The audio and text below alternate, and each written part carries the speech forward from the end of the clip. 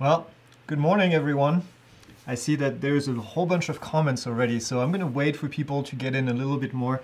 Um, there's about a 20 second delay. I have my iPad right here set up so I can see the feed and how long it actually takes. It looks like about 20 seconds difference. So um, I'm here, I got my tea, um, I've got my books just in case we need them. I also have the PDFs. So this is the regulation right here just for remote ID and this is the regulation right here for operations over people, operation at night, and a whole bunch of other different things. So um, it's going to be interesting. Um, I have the PDFs as well. Uh, available right here that we can go through. I have the slides that I use to do the presentation as well, so I can refer to this. I see some of the questions in here already that I can uh, that I can answer pretty quickly.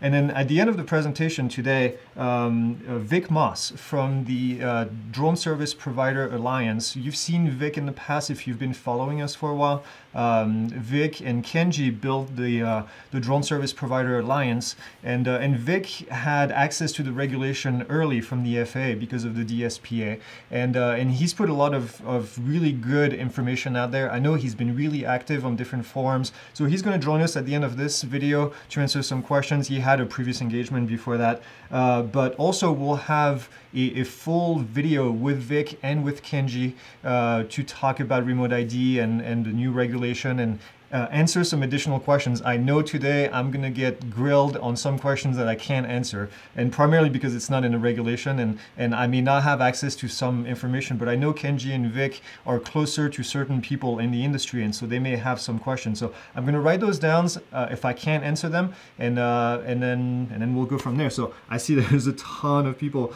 uh, already in here. So I'm going to go up uh, the list and kind of try to answer your questions as we go. So keep them coming. I'm just going to go down the list. Uh, what I can do is I can actually add the question onto the screen in itself and um, and then we'll be uh, answering. I want to make sure everything is good in here. I don't see anyone saying they can't hear me. Uh, we have people saying good morning from central Massachusetts, North Carolina. Uh, we have people from Miami. California. Oh, Bill. Hey, Bill. Uh, we have, I saw Don in here. Don, Deacon FPV. Don is, uh, uh, does all of our FPV videos at, uh, at Pilot Institute. So if you've seen FPV videos, it's from Don. And then uh, get uh, Indiana. Awesome. Get people from all over the place. Love it. Love your comments. There was so, so much. Uh, I wake up every morning and then I go through the comments on that YouTube video and I try to answer them. And then uh, throughout the day, I just try to see and make sure that uh, your questions go answered pretty quickly. So I'm going to start. Uh, Sapphire's phone right here was the first question that says, and I'm going to put it up for you guys to see which is right here. Uh, it says, with the module transmitting on the same frequencies as receivers use for home-built uh, UAS, I'm concerned about interference. Uh, does the FAA address this at all? And they don't. They don't actually have anything in here about interference, but remember that uh, modules and uh, remote ID aircraft are going to have to be approved by the FAA. Uh, the, um, the manufacturers are going to have to send paperwork to the FAA to tell them, hey, this is how we're going to do it, and, and make sure that it works. So I'm, I'm pretty hopeful that we won't see too much interference. Um, I know that a lot of UAS are working on the 2.4, 5.8 gigahertz uh, frequency spectrum, uh, but hopefully they can do something where that information doesn't interfere. Now this is, again, I'm not really an expert in this, but hopefully that's what it is. Um, all right, keep going in there.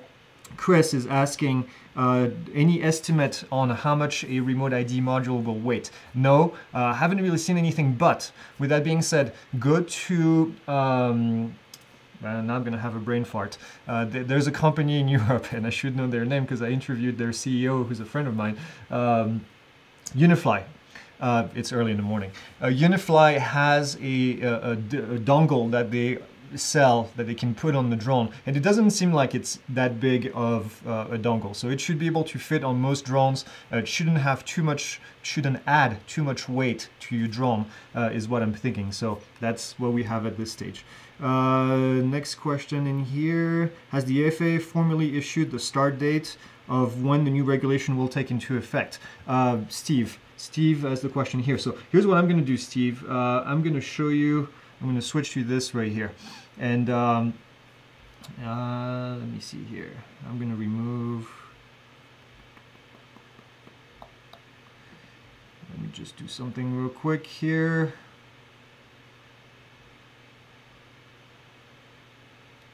You can see there's a green screen behind me and I want to actually swap that over if I can to something else.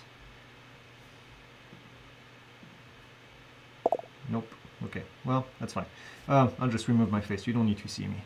Um, let's go back to this here. Uh, the question was about the timeline. And uh, here is, let me show you the timeline of when things are supposed to happen because I know this is a, common question. So really January of 2021 is uh, when the regulation just came out. So from here we start the clock. At one point in January of 2021 there's going to be a, a publication of that regulation in the Federal Registry and we don't know when that is yet.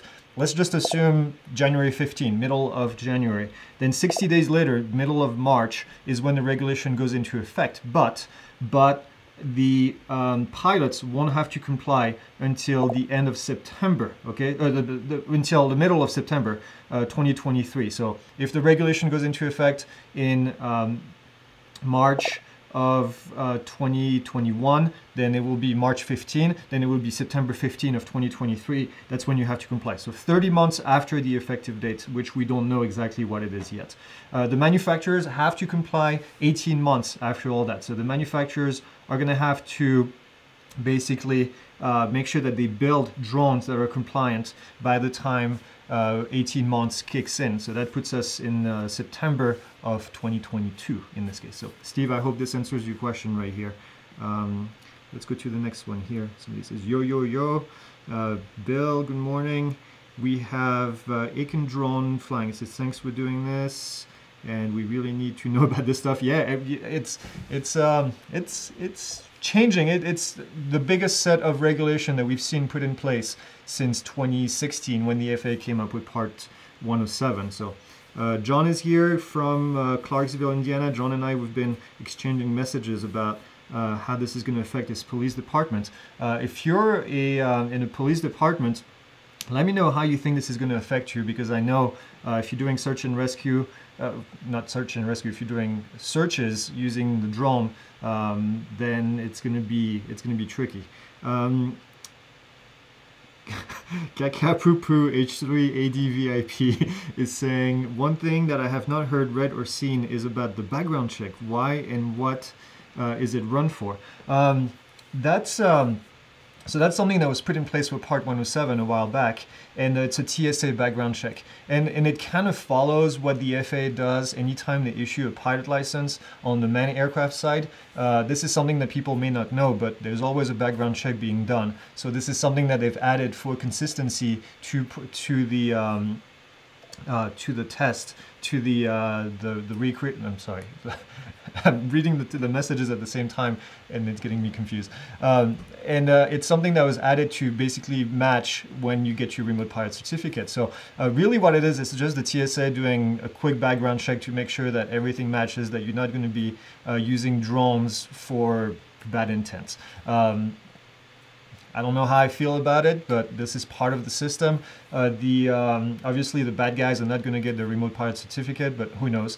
Uh, so this is something that if you're in flight training, doing flight training to be an airman, uh, an aircraft pilot, a man aircraft pilot, uh, you have, if you're a foreign student especially, you have to go through fingerprinting and you have to go through actually a lot of things that uh, people are not really aware of, but that's, that's, that's what it is.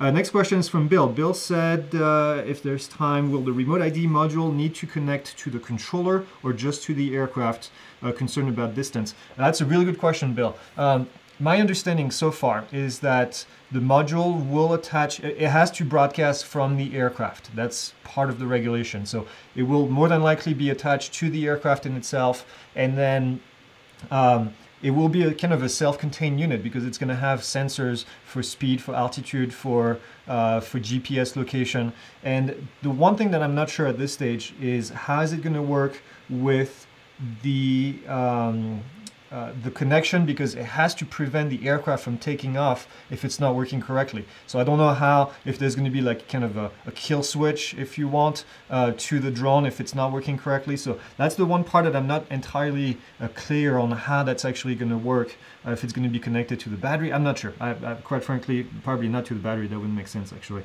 So uh, that's the only thing. But in terms of the distance, um, the distance with your controller won't really matter. Uh, it doesn't really send any information. The module doesn't send information about the controller's location. It only sends information about the location from the takeoff location. So that's how they went around this. They basically said it would be too complicated to get the data from the drone. Most drones don't have GPS information uh, available other than DJI and the, the ones that you buy uh, out there. So that's that's kind of how I think it's going to work. I think there's still a lot of unknown uh, going from here. So uh, good morning from Gainesville. Have friends in Gainesville. One of my best friend lives there.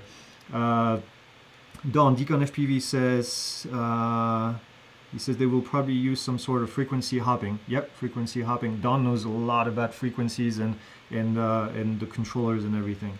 Uh, good morning from Columbus. Good morning. Uh, have many questions. Philip Miller says he has many questions. Philip, leave them in the comment. We'll uh, we'll get to them. Um, Ryan says, "Good morning, my classmates." California. Good morning. Good morning. Good morning. Lots of good mornings. Awesome. Um, hello and good morning. Let me see here. Question. I have a new. Oh, that, I'm sure this is going to be a good one. Here from David. Uh, I have a new DJI Mavic Air which came with ADSB in. Reading the FAA document, it seems that the use of ADSB will not be allowed. Is that correct? So, um, I, this is a great question, David. I'm so glad that you mentioned this. Uh, it's a great question because um, there is a confusion with ADSB. So, in the regulation, the FAA has said you cannot use ADSB as a mean of compliance for remote ID. What this means is there's two types of ADSB. There's ADSB in, which receives an ADSB message from someone that, that's sending it, and then there's ADSB out, which broadcasts an ADSB uh, message information. So what the FAA says is we don't want drones to be equipped with ADSB out you can get ADSB in. That's not that's not um, that's not restricted. The FAA doesn't say you can't use ADSB in. They're just saying you can't use ADSB out to send the remote ID message. And the reason they don't want you to use ADSB out on a drone is because it would congest the signal. Uh, ADSB was designed for manned aircraft to send the information to air traffic control and to send the information to other aircraft in the area. So this is something that's actually, it's an amazing technology that's really making manned aircraft aviation safer. What drone manufacturers like DJI have decided to do is to capture that ADSB information and give it to you as a drone pilot so you can be safer, which is awesome. So if there's a, uh, an aircraft, a manned aircraft flying around, basically saying, uh, hey, I'm in the area, here's my message, and then your controller can receive that information and then display it on your screen.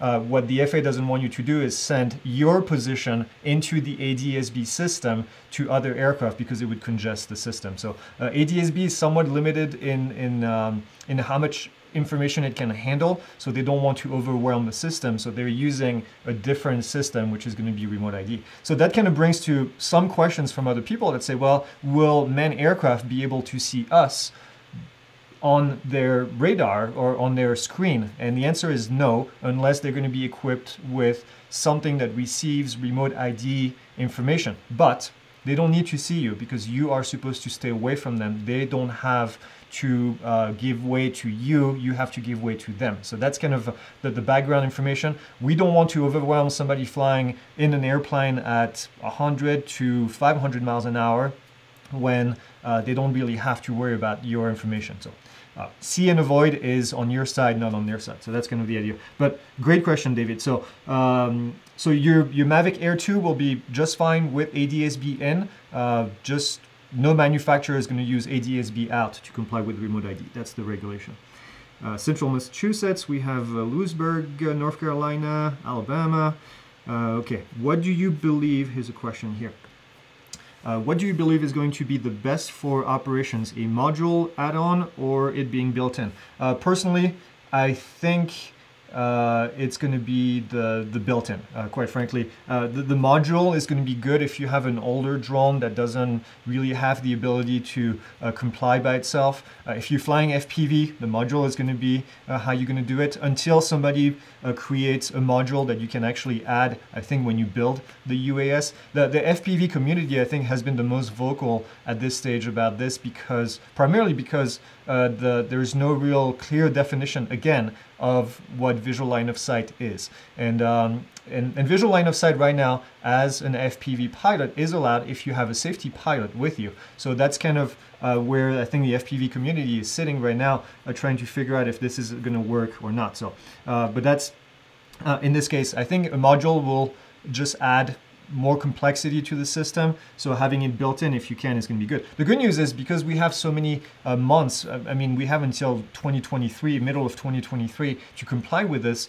Um, chances are whatever drone you're flying today is going to be and you know it's going to be an antique by the time you get to 2023 so i think this will be really the the only drones that are going to be flying with the module are older uh, FPV drones or older drones that people, and I shouldn't call them drones, unmanned aircraft like a fixed wing, for example, that people have been flying at an AMA field. But even then, if they're flying at an AMA field, it's probably going to be uh, considered a FRIA, so they can fly there without having remote ID. So I think it's really not that big of a deal. But um, another question here from Sapphire's phone. It says, uh, when using a module, is there any rule that would prevent them from walking to a new location during the flight to avoid harassment. No, uh, actually, this is something that people have said, hey, uh, because uh, if you've watched the video from before the one I put on on Friday, I was very vocal about the fact that um, now people will be able to find you because, because your location is going to be broadcast. If you're using a module, you could take off and then walk away to a different location and then that would never be shared with anyone. That new location wouldn't be shared. So uh, if you wanted more privacy, that's definitely one way around it. Um, I wouldn't abuse it. Well, I am not going to say anything. Uh, I just don't want the FAA to change that regulation in the future. So I don't want, want to make sure we don't um, abuse that. Uh, California, Kansas City, uh, let's see, Pennsylvania, Texas. Wow, we get people from all over the place. I love it. Uh, I hope you can make this viewable later in addition to the live feed. Yes, uh, I don't know how the live feed works with YouTube. Um, I don't know if the question, I think the questions can be reviewed as well. But since the question is put on the video right here as it's being recorded, uh, then the question will be available when you watch the replay. So you won't miss anything. And, uh, and yes, this will be, as soon as we're done live, it's going to be saved on YouTube and, and be watchable. So. Uh, Chicago, Providence. Okay, uh, how does how does this change the drone training you offer? Uh, have people that sign up before the changes? That's a great question. Um, at this stage, really not a whole lot of impact on the regulation. The the changes that are happening in the near future, which is going to be around March, is going to be adding training to uh, for night training. And the good news is I've been teaching night training for uh, for almost 20 years now to men aircraft pilots. So I've already started to create the content for this. I'm going to be recording it next week and then adding it to the course. So it doesn't really change anything. The regulation for Part 107 is still mostly unchanged, except for the flying over people section. Um, I'm going to add the flying over people uh, information as soon as we have a better date for when the data is published uh, on the FAA website. So the January date when that stuff goes live, I don't want to record any videos before that date is in there because I want to include the date in the training. Uh, but uh, as far as the night training, this will be all available and it's also going to be available on the FAA website for free. So, uh, but I know what the FAA website training is going to look like. It's going to be text. It's going to be fairly boring and dry. Uh, but kudos to the FA for putting this out there. So we'll have something that's a little bit more easier to digest and, uh, and available to you guys. So that's coming up very soon. Uh, you'll have it way before it goes into the training, uh, way before it goes live on the test. That way you can digest it. For people that are taking several months to do the training, we have people that do this. They'll be ready by then. Um, I'm going to send you guys an email when everything goes live. Uh, I'll have notes in the course of things that have changed. So if you're coming back from before, uh, there'll be something that tells you it's been updated. So I'll make this easy on you guys. That's what I do uh, Milwaukee, Wisconsin. Wow, we got people all over the place. I love it. That's my coffee cup. I need to get a Pilot Institute sticker on there. Uh, hi from Chicago. Okay, great overview. Thank you. You guys have really enjoyed the video, I think. The It was an hour and a half long. I wasn't sure how much people were going to watch uh, because it's such a long video and it's kind of a, a, dry subject, but it looks like a lot of you watched it, so I, I, that's really cool. Okay, if I take, here, if I take the test this week, this is a really good question. Will I need to take a follow-up test uh, to fly at night or just the FAA night training? Really good question. So if you take the test this week or up until March, middle of March, whenever that date is going to be, because we don't know yet. But if you take the test between that time, then if you want to fly at night, only if you want to fly at night, then you will have to do the recurrent training, the free recurrent training on the FAA website. Okay, so if you're taking the test now, and you want to fly at night, then you'll have to do the training when it becomes available. Once the new test is out in the middle of March, then once you take the new version of the test, then you will qualify as, uh, as night trained, and then you'll be able to fly at night, provided that you have the light on your drone, okay? Um, so that's, that's, I want to make sure that I answered all of that question uh, just the FA night training. So you won't have to take a follow-up test. Um, the, the, actually, the, let's put it uh, in a very simple term. Once you do, between now and March, once you do the initial test, that's it. That's all. The only test that you have to do. The only thing that you will have to do is the recurrent training uh, when it becomes available. If you take the initial test after March, whatever, 2021, then you don't have to do anything for another two years and then in another two years you'll have to get recurrent training. There's no more UGR, there's no more recurrent exam, $160 whatever, you'll have to do recurrent training. And also what I'm gonna add is the FAA is working towards something that is the equivalent of the WINGS program for men aircraft pilots, which is a set of classes that you can take and get credit for over time and have that qualify as your recurrent training. So um, let's say that you find a course on the FAASafety.gov website that has uh, information about, I don't know, LAANC as a refresher, then more than likely you'll be able to use this, and this is still something that's in progress, you'll be able to use this as so many credits, and then when you have enough credits, then it counts as your renewal. So um, for me, as a manned aircraft pilot, this is how things are done. Uh, I have to do, every two years, I have to do a flight review, but I can also use credits from the FAA under the WINGS program to qualify for flight review. So that's uh, a portion of the flight review. So that's kind of how, how that, that portion works. So I hope this kind of makes sense. Um, here. How likely will a firmware update enable remote ID on DJI uh, Mavic Air 2 and Mavic 2? Uh, I've been following on YouTube, uh, on, not on YouTube, on Facebook, uh, Brendan from DJI, Brendan Schulman. Uh, he's been responding to a bunch of these questions and it looks like they're going to have a solution to make that happen. So I'm pretty confident that most of the drones that were built recently by DJI uh, will be able to be compliant with remote ID by using a software update. We'll talk about this some more when I meet next week with uh, Kenji and, um, and Vic because I think they have some really good information about this. Okay. So many people from everywhere. I'm only halfway through the comment. This is going to take a while. Somebody says, I took the test two times and have the same score two times.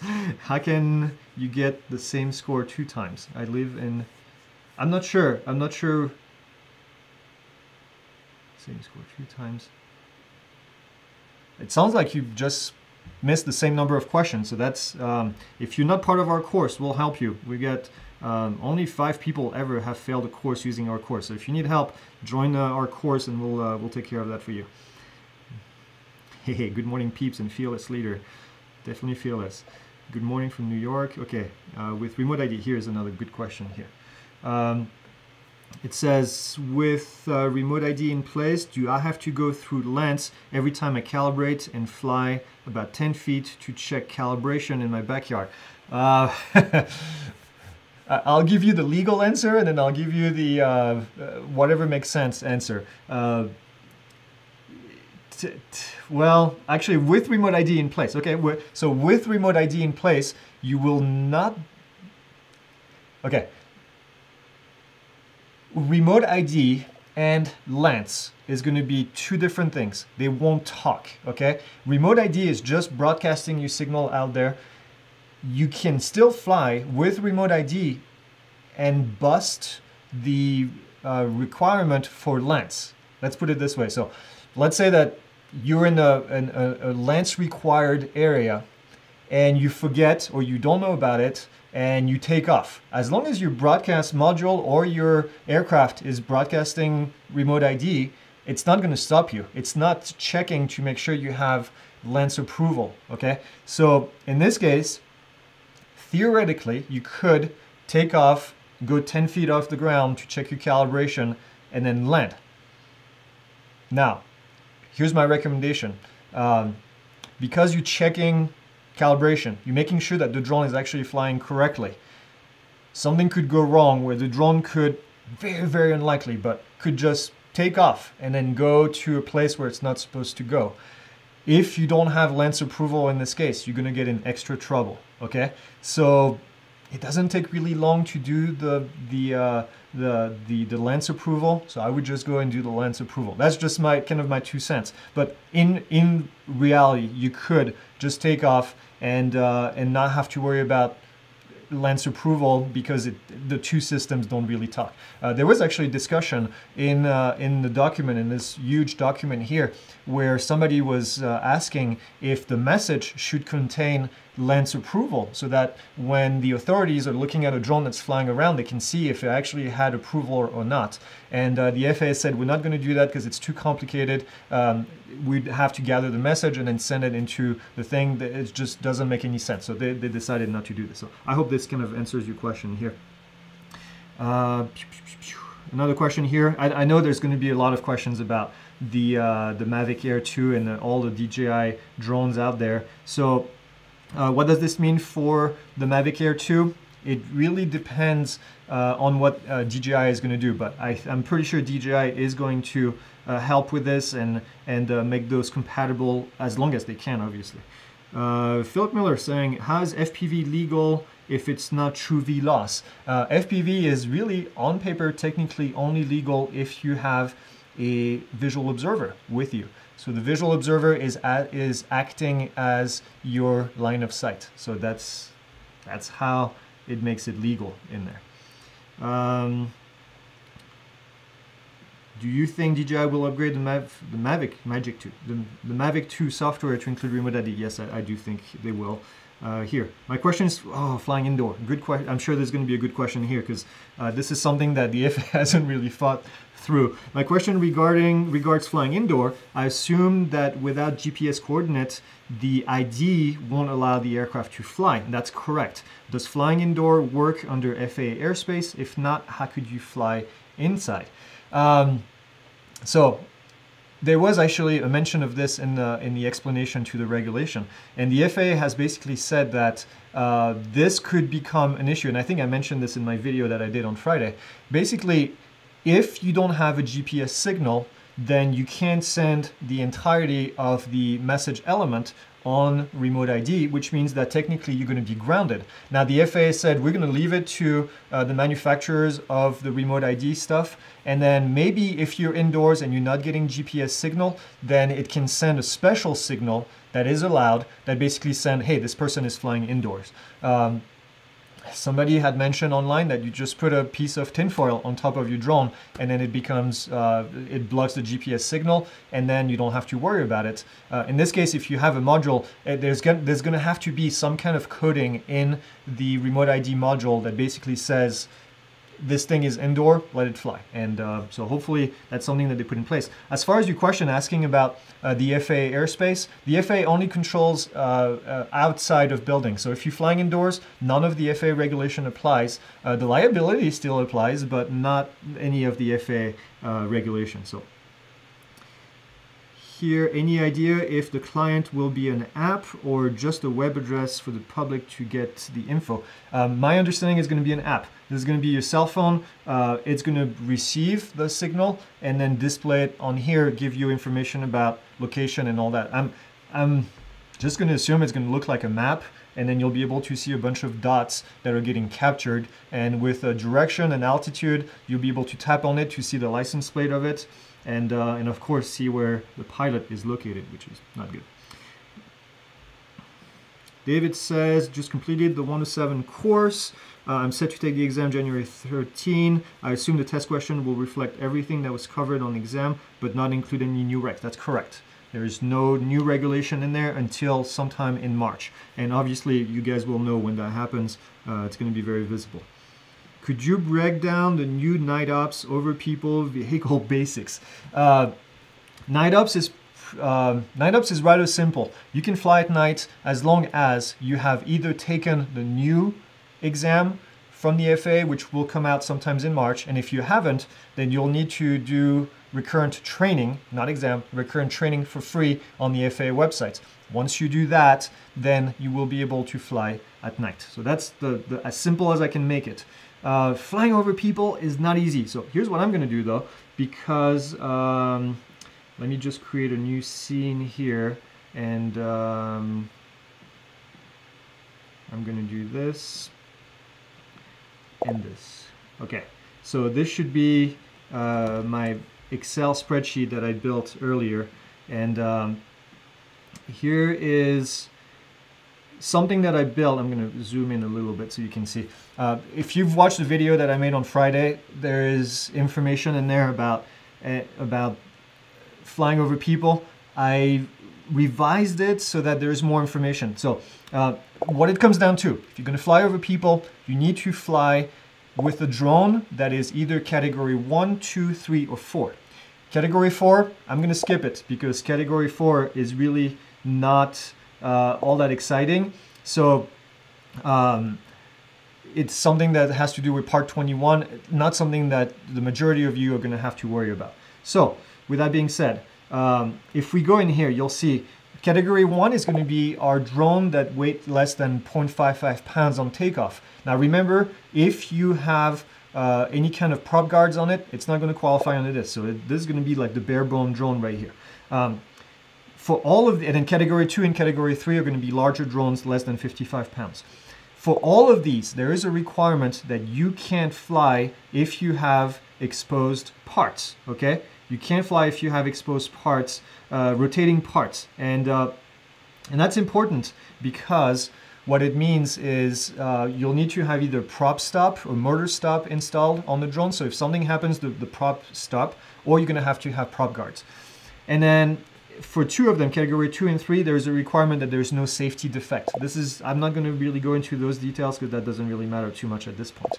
Then there's an injury limit, which means that if you're flying a category one, there's no limit to injury, which means that the drone can hit someone. The FAA says that's fine. It's not going to kill anyone. We're just going to keep it this way. For category two, there's a limit of 11 foot-pounds of kinetic energy. And then for uh, category three, it's 25 foot-pounds. So basically, just look at these numbers as there's a certain force on impact that these drones need to meet in order to be approved to fly over people. So uh, because there is none of these requirements for category one, then the means of compliance and the declaration of compliance are not required under category one. Means in compliance, declaration of compliance is basically uh, paperwork that DJI or whoever is doing the paperwork is going to have to send to the FAA to get approved to be a category two or category three. So that's required right here, category two and category three. Uh, there's a label requirement for category 2 and category 3. I did not see a label requirement for category 1. So um, maybe, maybe I'm wrong, maybe I missed it. But anyway, not, not all that important. This is where it gets complicated. So um, let me just bring my face back because I want to take a break from this video here, from this slides. Where it gets complicated is the fact that there's really three different scenarios if you think about it. There is flying over people quickly, transit, okay? There's flying over people for an extended period of time. So hovering over them, flying on top of them and just doing loops, that's kind of a second requirement.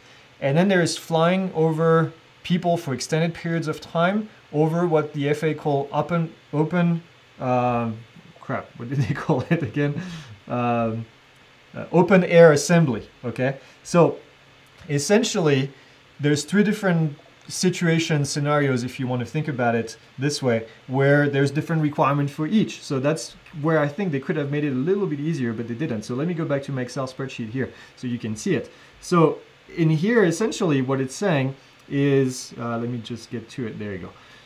If you're uh, and there's operating requirement th that this line right here is just a, a, a reminder of what I talked about earlier.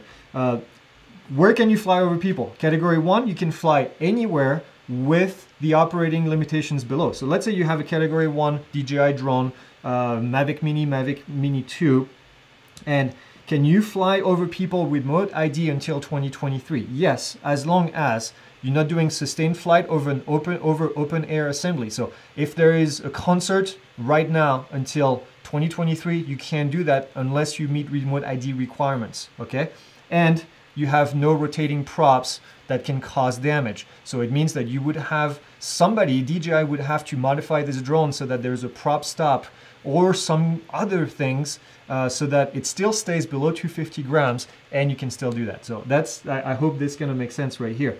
Uh, in terms of sustained flights over one person or over just a few people, what we don't qualify as open air assembly, it's good as long as you're not flying over them for uh, for open air assembly and as long as you don't have rotating props uh, that can cause damage.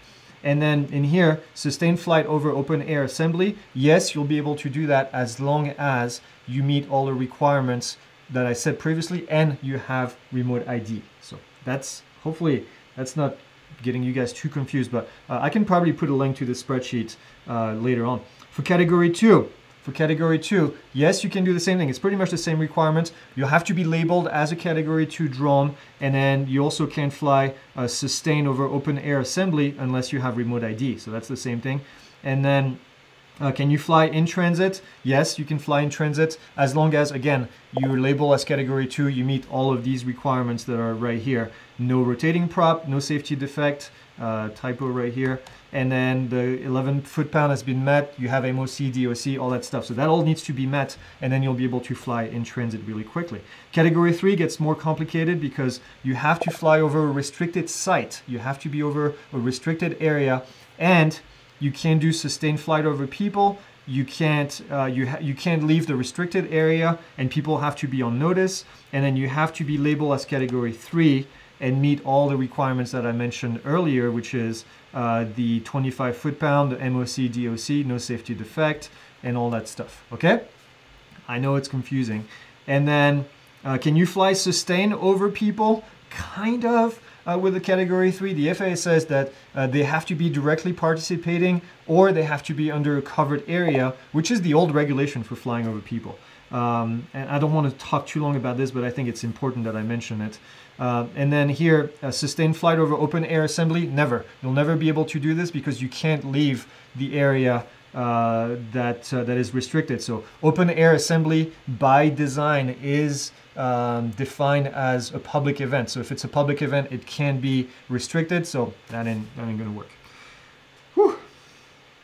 So that was that was a breakdown, an, an easy breakdown of um, this. And then flying over people, uh, flying over moving vehicles, um, flying over moving vehicles. Uh, how am I going to explain this?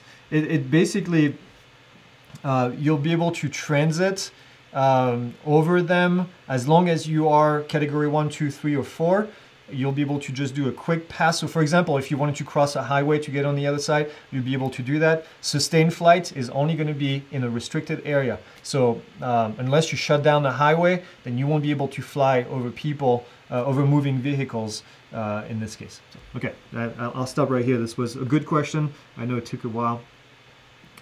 Here, Phil says theoretically FPV is supposed to have a spotter.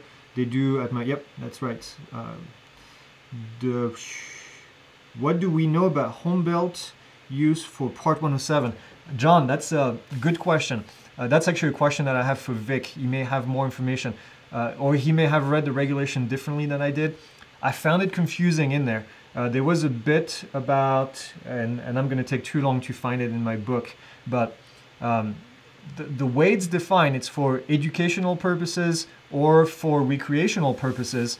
But then somewhere it also mentions that you can use it for uh, Part 107 purposes. So I don't know. I'm a bit confused about the home built. Um, my guess is that. Um, my guess is that you will be able to use it for home built as long as it meets the remote ID requirement. Um, you'll probably have to slap a module on top of it. I think the, the exemption from home built was to meet the exemption to meet the requirement by mean of compliance, if that makes any sense. So I think what they're saying, if you're doing a home build, then you can use a, a, module on top of it to comply. You don't have to submit all the expensive paperwork to comply. I think that's what the regulation had said. But sorry, that's one question that I have that I can't really answer uh, too well. Does the new regulation allowing flight over people moving car at night only apply to Part 107 pilots? And uh, does that include recreational pilot? That's a really good question, Nate. Yes, it only applies to Part 107 because the regulation lives in Part 107. So flying over people, flying at night. So let's let's take each case. Flying over people, flying over moving vehicles. At this stage, until 44809, section 44809 of the USC, the US code, is amended, then you won't be able to do that. Uh, so you'll only be able to do that as a remote pilot. And for flying at night, at the moment, you can fly at night as a recreational pilot if you fly in uncontrolled airspace. You cannot fly at night in controlled airspace because there's no process to request the approval. So that's kind of where we sit right now. Uh, so that's, um, yep, only for part 107. Here, night flying, strobe lights, how many are required? One, uh, top or bottom, it doesn't say on the FAA website, but let's think about this. The position, the light is designed to help people, to help other aircraft see you. So putting it on top makes more sense than putting it at the bottom. Now what you could do, you could have one on top, one at the bottom to help you to see the drone, but that's not the, the purpose of the light. The purpose of the anti-collision light is anti-collision. It prevents a collision with other aircraft. So think about it this way. Why are model aircraft being grouped with drones? Uh, it's a good question that I don't have the answer to, unfortunately. Uh, the FAA has basically said anything that flies up there is uh, is a UAS, an unmanned aircraft system. So uh, it, they don't look at it as a quadcopter or a fixed wing or model aircraft they look at it from from a weight perspective. So if it's less than 250 grams, then it becomes a UAS that's less than 250. If you fly it for recreational purposes, then you can do it without remote ID. That's I don't have a good answer, sadly, about why they grouped everyone together. When will remote ID go into effect? For you, um, September of 2023 is when you have to comply. So you get a little bit of time. Is drone a part of requirement for becoming a commercial pilot who works for an airline. Nope, no, it's not. Completely different license. So to become an airline pilot, you have to get first a private pilot certificate, then a commercial pilot certificate, and then an airline transport pilot certificate. Drones are a different um, certificate. Mavic Air 2 uses OcuSync 2.0 RID is Wi-Fi and Bluetooth. Does anyone know if the Air 2 will broadcast Wi-Fi? Um, OcuSync 2.0 uses 2.4 and 5.8 gigahertz, which is the same uh, frequency. So uh, my guess would be that yes, it should be able to do that. Uh, Thanks for this information. I have a question about the broadcast message. Could they eventually change the message to leave out the pilot location? I agree with you on how dangerous it could be. Um, Could they? Yes. What would it take? Uh, an act of Congress, I think, if I understand this correctly. It would have to be Congress that mandates a change in regulation, and then uh, and then it would have to happen. So uh, my understanding is if you if we want this to change, then we need to get our elected officials involved so that they drive the change. Um, so that's yeah. The, the question, the better question, well, not better question. The question really is from a um, boots on the ground standpoint, is it something that can be done and that can be done so it works for everyone? I talk a little bit about this in my video, but um, uh, Wolfpack says the TSA security threat assessment is run by TSA every quarter on all pilots and pilot applicants. Actually, I did not know it was run every quarter. Uh, so thanks, Wolfpack. I know I can trust that piece of information because uh, Wolfpack is extremely knowledgeable about all of this. Uh, all including all including aircraft are considered unmanned aircraft system. Yes, that was somebody responding to somebody else. Okay, here. When will the subject begin to show up on the 107 test? March. March, sometimes in March. We don't know exactly yet when, but sometimes in March it will show up in there. Uh, how will the broadcast message appear on someone's phone? Notification, text message. Uh, I, I, I don't foresee that it will be sent automatically, so I don't foresee having a pop-up message, hey, there's a drone flying on top of you. Uh, at least I hope the apps don't do that. Um, my guess is you'll have to log in. If you see somebody flying, you'll have to log in and then get that information. I thought drones with the, let's see here. I thought drones with the add-on module couldn't leave line of sight, thus limiting, yes, that's correct. Line of sight will be um, will be required for drones with a module. Uh, actually, I mean, it's, it's still required for drones that have remote ID integrated into it. It just means that um, drones that have a module will not be allowed to fly beyond visual line of sight, even with a waiver. I think that, I think that's the way I read the regulation. Are there any concept examples of hardware that intercepts or can read the display broadcast? Just wondering if this is can be done with someone like a cell phone. Yeah, the idea actually, Mark, is that um, a cell phone will, is all that's going to be required in order to capture that message and display the information. If the module does not communicate with the controller, how can the pilot be notified that uh, there's a module failure? That's a good question. I actually wondered about this as well, Jim. Uh, Jim has been uh, a, a long-time follower, and I think Jim is a student as well of ours. Um, uh, I don't know. I don't know how the module is going to tell you that that there's a failure. I, I don't know. I, that's going to be, somebody's going to have to be creative with this one. Uh, will the remote ID module aid in lost drone location on older drones? Um, I thought about that, and yes, I think it will.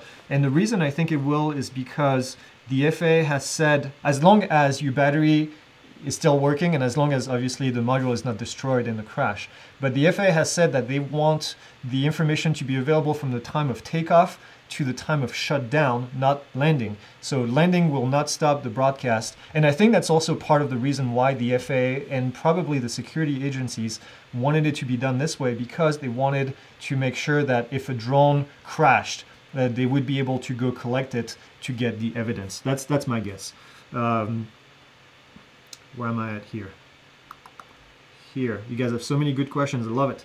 Will night ops still require a visual observer? That's a good question, Edward. Uh, somebody else asked me that same question. Uh, no, I don't, at least not what I've seen in the regulation. It doesn't look like the visual observer requirement stayed. So all I've seen from what 107, whatever it was, for 29, I think, for night flying, uh, it says that you only need to do the training and you only need to have a strobe light. So, which is good. Um, I mean, obviously at this stage, you're going to make the decision whether you need a VO or not. Uh, I fly at night usually to do light painting uh, on, uh, on, uh, on, on photography. And, uh, and I don't really need to have a visual observer when I do this because I'm in the middle of nowhere where well, it's not really an issue. So uh, I'm glad that they actually get rid of this thing. Uh, if you need one, then uh, uh if you need one in terms of training, I would say uh, put together something to help them get trained. This is something that we're working on as a as a course, but uh, it's going to be a little while before we have it ready.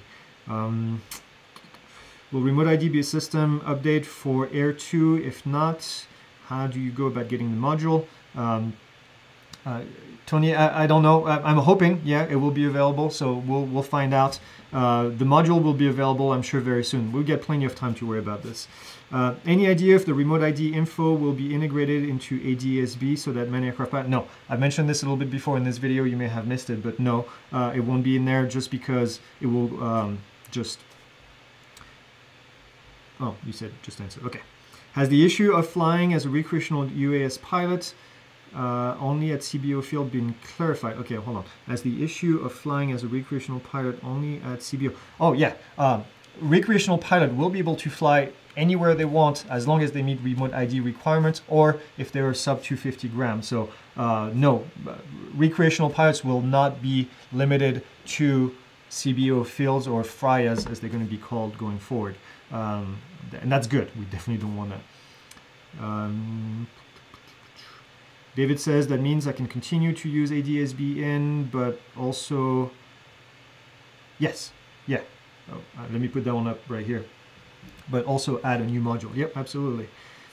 Uh, I notice there's an IFR class added in your online menu, which is good news to everyone. Yeah, that's for uh, our instrument courses for manned aircraft pilots that want to learn how to fly.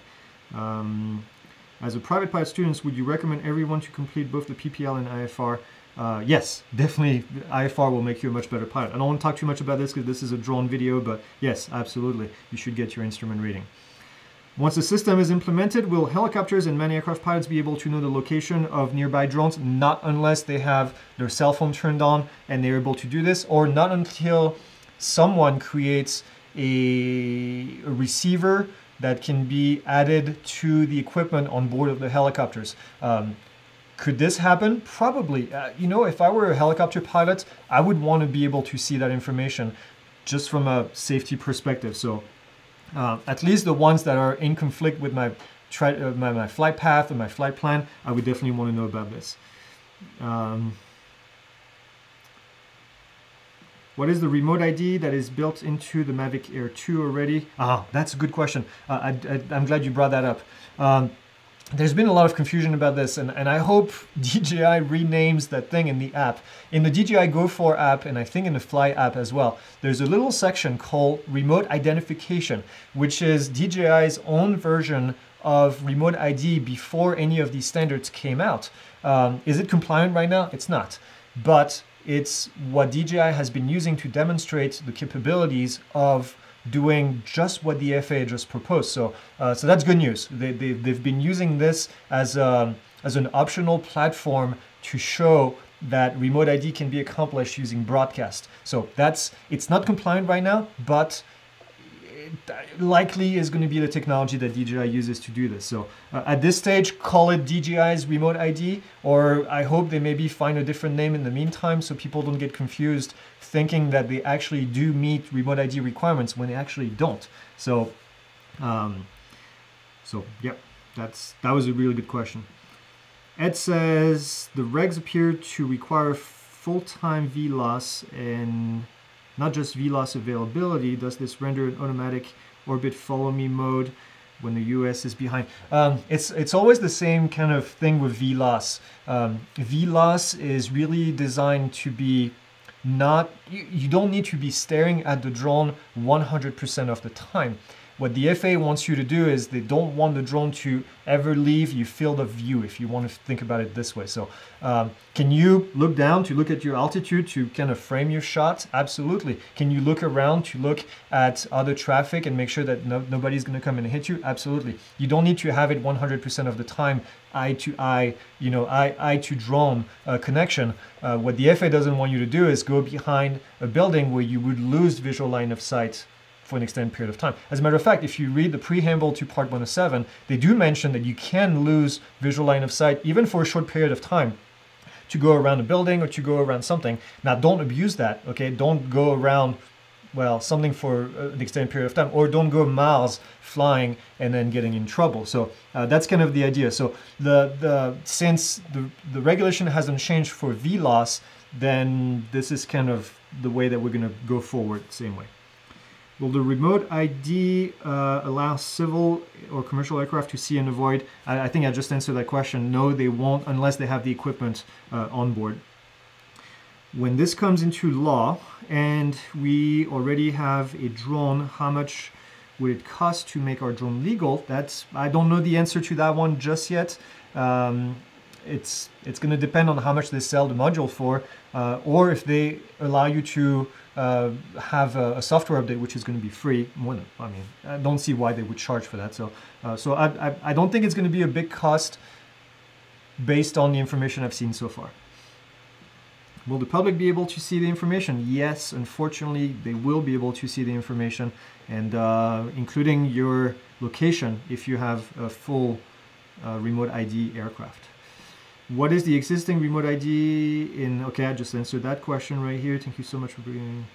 Do any of the current small anti-collision lights, the one that can zip Velcro, meet the FAA requirement for night flying? Uh, so this is kind of a loaded question. Uh, it, the, the FAA doesn't approve these lights. All they say is they have to be visible from three statute mile distance. So um, do they meet the requirement? It depends if they've been tested. Uh, actually, I, I have um, I have two different sets. I have one on Inspire 2 and I have one on my other smaller drones. And they, they both have different visibility. I, I think one is more visible than the other. But uh, when you buy them, see if it says how far they can be viewed from. And if it says 3 statute mile, then you have to kind of take the manufacturer uh, and, and believe what they're telling you, or you can go and test them yourself. So that's, that's my answer and I'm sticking to it. Air 2, Mini 2, NFE, Seems to have some sort of remote ID setting. Yep, that, I think I just answered that question right here. Hey, Vic Moss is joining us. Let me see if I can add Vic. There he is. Hey, Vic. You're on. I'm answering a whole bunch of questions in here, so I hope you can chime in uh, as we go. Thanks for joining us. Yeah, sorry I'm running late this morning. Uh, no worries at all. Um, so I'm going to keep going through the list right here. We've got uh, we got a lot of question answers so far. so and awesome. there's still a lot to go. So uh, do we know when existing AMA field operators can apply for FRIA status? Yes, uh, this is going to start. Uh, what was it? 12, uh, 18 months. 18 months 18 months from, yeah, 18 months from um, implementation, which is 60 days after publication. Yep. So 18 months is when that's going to open. Now, there's been a big change here, which is good. Uh, the FAA was only going to allow applications for 12 months, and then they decided that they were going to change that and actually make it so you can apply in the future as well. And uh, the application, once it's approved, it's going to be good for 48 months, so for four years. So that's kind of a good thing right here. Uh, next question. I recently purchased a DJI Mavic 2 Zoom. Uh, has DJI already integrated remote ID? So we've had a lot of questions, Vic, since you're just joining, about the DJI drones. Can you tell us a little bit more about what you've heard? I know you've probably talked to Brendan a little bit more about what's going on with uh, the remote ID with DJI. I think Vic froze. Oops. We'll get back to that in a second when Vic comes back. Uh, I think the confusion surrounding, here, here's another question. I think the confusion surrounding existing RID field in pilot software is just that, ID, not real-time data. Yep, I agree.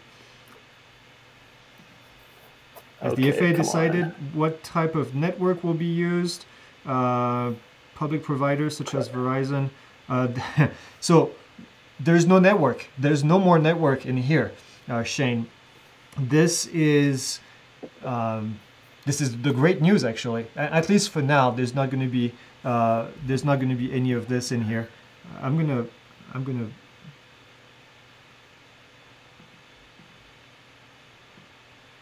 I'm gonna remove Vic for now and see if he can come back.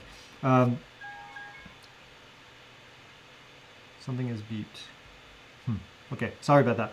Um, so in this case, the, the network requirement that was in the NPRM no longer exists. So that's a good thing. We basically have uh, no more no more network requirements. So Verizon and all of this is not going to be required to fly your drone, which is which is pretty awesome. Uh, I know I'm sure they're not very happy about it, but uh, a lot of us have been asking about this. I see Vic smiling about that. Uh, yeah, sorry. Yeah, like they worked on my uh, well, my internet in my neighborhood. Now my internet doesn't work very well, so oh, it's, nice. it's, it's been a it's been a constant set of uh, phone calls back and forth with Comcast. Um, to get back to your question, I did hear it about DJI. Um, some of their newer drones uh, will more than likely be updatable via a firmware push. But um, there's still some technical aspects that have to be done. Uh, specifically, oh, what is specific? I can't remember exactly, but it they're working on it. They're working on it. Um, worst case scenario, some of the older ones will have to go into module. Yeah. Yeah, so that's that's what I had thought as well. So I think that's good news, mm-hmm. and I think not only for DJI but for Autel, and I'm sure uh, um, Skydio all those be, guys. Yeah, will be kind of the same way.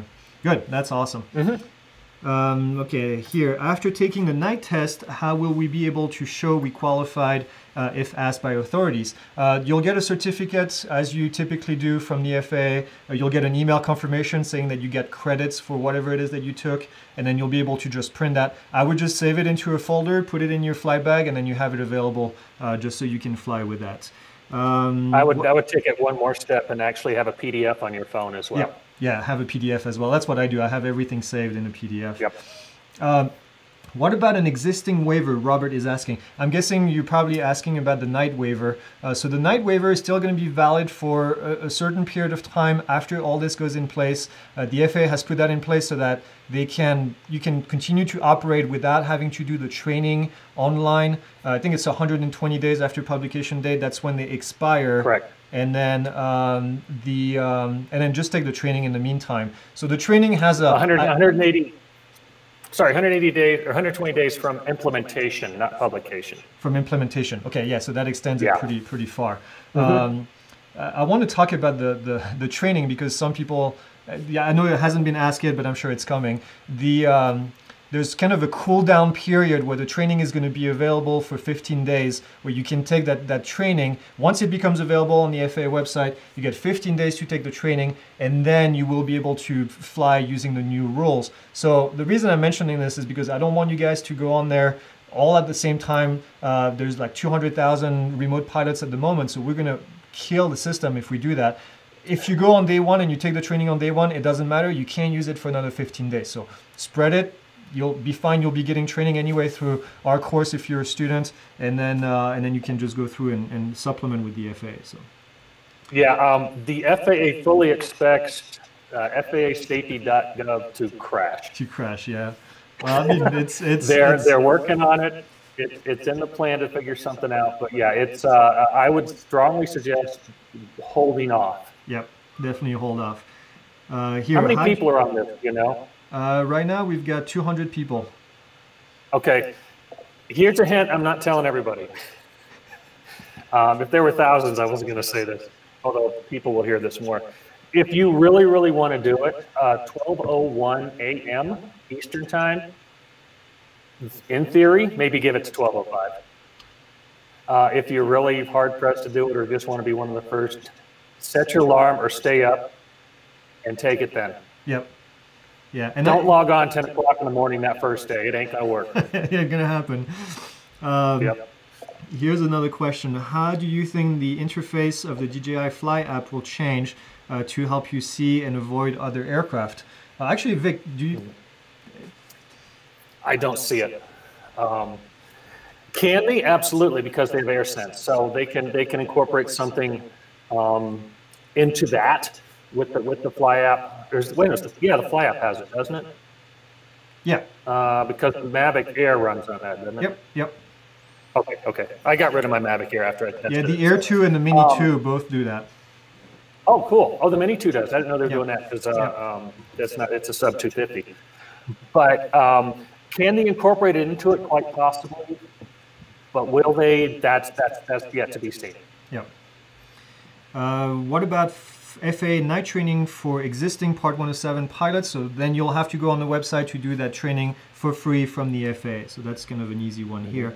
Uh, it seems that recreational flying is less restrictive uh, than Part 107 certification. How does Part 107 increase our privileges? Uh, there, there's several things that Part 107 allows you to do. Um, flying above the grid number in LAANC, for example, that's something that you can do as Part 107. With permission? Not, yeah, huh? With, with, permission, with permission. yes, with permission. Um, uh, really, if you think about it, I mean, now flying over people is going to be uh, the only way to do it is going to be by having Part 107. Um, and then flying in zero grid with permission is, is something that you can only do there. Uh, flying at night in uh, controlled airspace is also something that you can only do as Part 107. Uh, can you think of something else, Vic?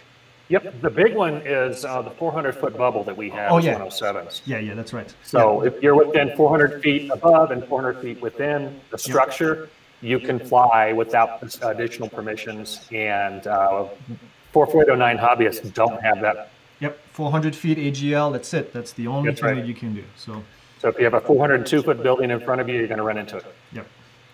Uh, do you recommend any flying organization like AUVSI? Um, it's a loaded question. Um, I mean, AUVSI does a lot, a lot of great for the for the community. I think uh, they, they do have lots of good information. Uh, join their mailing list. I mean, you don't have to pay for the for the, the, mm-hmm. the monthly fee or the, the yearly fee. Even though I don't think it's that much money, uh, it just provides you with good information. They have some good uh, meetings to go to, and even some of them that are live. Not always very cheap. I know it's something that people uh, kind of grill them for all the time, but they do provide some good information. I would suggest DSPA, but that's just, you know. Oh, that's me. right. well, you, you, guys provide a different service, but yeah, I, I mean, definitely DSPA, yeah. uh, who is going to help you. And if you're a drone service provider, definitely join DSPA and, uh, and get a voice out there so that you can. Um, I mean, AUVSI has a voice, but I've seen some of their comments right. on the NPRM, and I was not always in agreement with what they said. So. Uh, here's someone from Colorado, just like Vic. Uh, why is the FAA grouping model aircraft which are directly being controlled by a pilot, being lumped with the drone category. Uh, so I, that question just came up, but maybe you have a different answer than I do. I don't really have a good answer why they draw. I mean, it's it's an it's a drone. It's something that flies up there. That's radio controlled. That's really the idea from the FAA. Well, basically, what the FAA has done is it's not we're not drones. We're UAS, unmanned aircraft systems, or unmanned aircraft vehicles, and that doesn't matter if you're a you know a Tello uh, a, uh, a, a, DJI or Autel or something like that, or if you're flying a 125th scale turbojet, um, you're in the air, you're part of the NAS, a National Airspace System. Uh, so you're, you're flying no matter what it is. You aren't all considered drones. It's unmanned aircraft systems. And so if you're in the air, you're just going to be part of that group uh, no matter what. So that's, that's, that's where it comes from, really. Um, it's not so much your drones, it's just we're all the same. Yeah, yeah, and that's kind of what I said earlier. So I'm, I'm glad you said the same thing. Mm-hmm. Uh, I'm taking my exam this Saturday. Any study content change? Nope, not until March. You don't have to worry about it. So go take your exam. You'll do just fine. Uh, remote, in person? Oh, yeah, huh? yeah, of course. Yeah, sorry. Yeah, it would be in person at this point. Sorry. Yep. My yeah, and yes, yeah, it has to be done in person. The initial still has to be done in person. I know some people uh, have asked that question. Uh, remote ID once activated cannot be turned off. Should I store more quadcopters over the winter month? Well, no, actually, that's not true. Um, it, right. it, it, can be turned off. It just can be turned off during flight or before flight. So it has to be available. But no, you can turn it off. That's not a problem. Yeah, from takeoff until you shut it off after landing, it will be active. Yep. Well, until shutdown. Right, until shut, yeah, shut off after landing. So shut yep. down after landing. That's yep, a better yep. word. I'm a commercial UAV pilot for police department. We have been working as Part 107 due to lengthy process. Can we now flight night missions without a COA? Yep, as long as you meet the requirement that I mentioned before, which is mm-hmm. to do the training and then have the, the light on your uh, drone, and you'll be good to go. So yeah, that's a big deal for. I would. I'm sorry. I would take it one more step further in a situation like that when you're working with the police department, first responders, um, whatever uh, aspect, or even a company, even a large company they're going to change their rules probably. So um, check with that and uh, their legal department or their uh, their flight commander or whoever, and uh, they'll let you know if any, anything has changed. But as far as the FAA, no, nothing will change. Yep. You may have already answered this, but the Mavic Air become remote ID. Yeah, we just talked about this. You should be good to go with uh, most of the, the DJI drones out there. Uh, the remote ID identifies where I'm located because of my controller. Can an ind individual citizen acquire my personal information while you're flying your personal uh, information from? No. Uh, so that's that's kind of a, a, misconception. I think we've seen a lot on different forums. Uh, the only thing that's going to be available to the general public, I shouldn't say only, but the things that are going to be available to the general public is uh, an ID number. Think about it as the serial number for your drone. They don't have a way to cross-reference that number with any databases. The, the database for registration is not available to the public, so nobody's going to be able to find your address, your phone numbers, your name, or whatever. They'll be able to find your location of where you are when you fly the drone.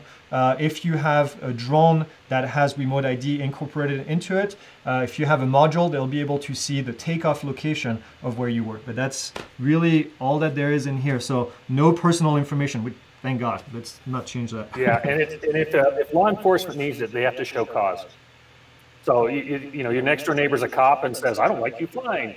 Yeah. Um, he can't just go talk to the FAA and get the information. Yeah, because the FAA is going to be. Your neighbor already has it anyway, but still, you know what I mean. Because the FAA is going to be the holder of that information. It's not like it's going to be available to law enforcement. They'll have to request access to that information before they get it. Yep. Yeah, that's important. Uh, Craig says, will your night training course be a standalone for those who already completed part 107? I haven't really decided on that. It's definitely going to be part of the course, but you know what? You have free access to the FA course on there. I know it's probably going to be a little bit drier, but um, we'll think about making it uh, available as uh, something else, just a little bit. I mean, it's text. If, if you've ever done yeah. training on the safety.gov website, it's mostly text. Uh, the, I, I doubt there's going to be any videos for that. Um, but that's fine. We'll, we'll take care of you guys. Uh, who else in here? John says, I have to renew by the end of March. Okay, this is a good question. Uh, by the end of March 2021, can I avoid the $160 fee uh, by waiting? Uh, it's all going to depend on when the regulation goes into effect. So, um, end of March, Vic, you, I mean, I have a good feeling that by the end of March, we will be ready for that. I would be amazed if, if the uh, federal registry isn't published this month. I mean, just com- yeah. I'm totally amazed. Yeah. Um, which then the 60 days kick in, so you're talking middle of March. Um, yeah, it's. I would yeah I would wait if I was doing that. Yeah, and for this case, actually, it would be 45. It would be 45 days for this one. Well, if it's January, if it, let's say middle of January, so February, March, so that would be 60 days.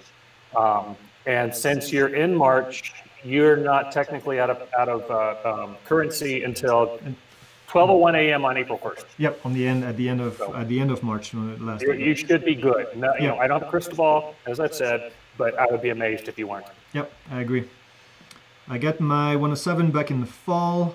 What do I need to do to qualify for night flying? Um, you'll have to just go to do the training on the FAA website for free. That's really all that, uh, and sometimes in March, like we just said. Uh, there's still a lot of questions. oh yeah, uh, well it's okay. Yeah, we've been going for an hour and fifteen now. Uh, have you talked about? Uh, let's see. Have you talked about that? That have a daylight waiver and is going to happen when the published date. Yeah. So yeah, we, we just mentioned that the daylight waiver. You'll have an extension, so you'll be able to keep using it for a while, uh, and then we'll have more dates when the actual date is published. Will LAANC be updated to allow 107 to obtain clearance to fly at night in controlled airspace? No. You, are shaking your head no.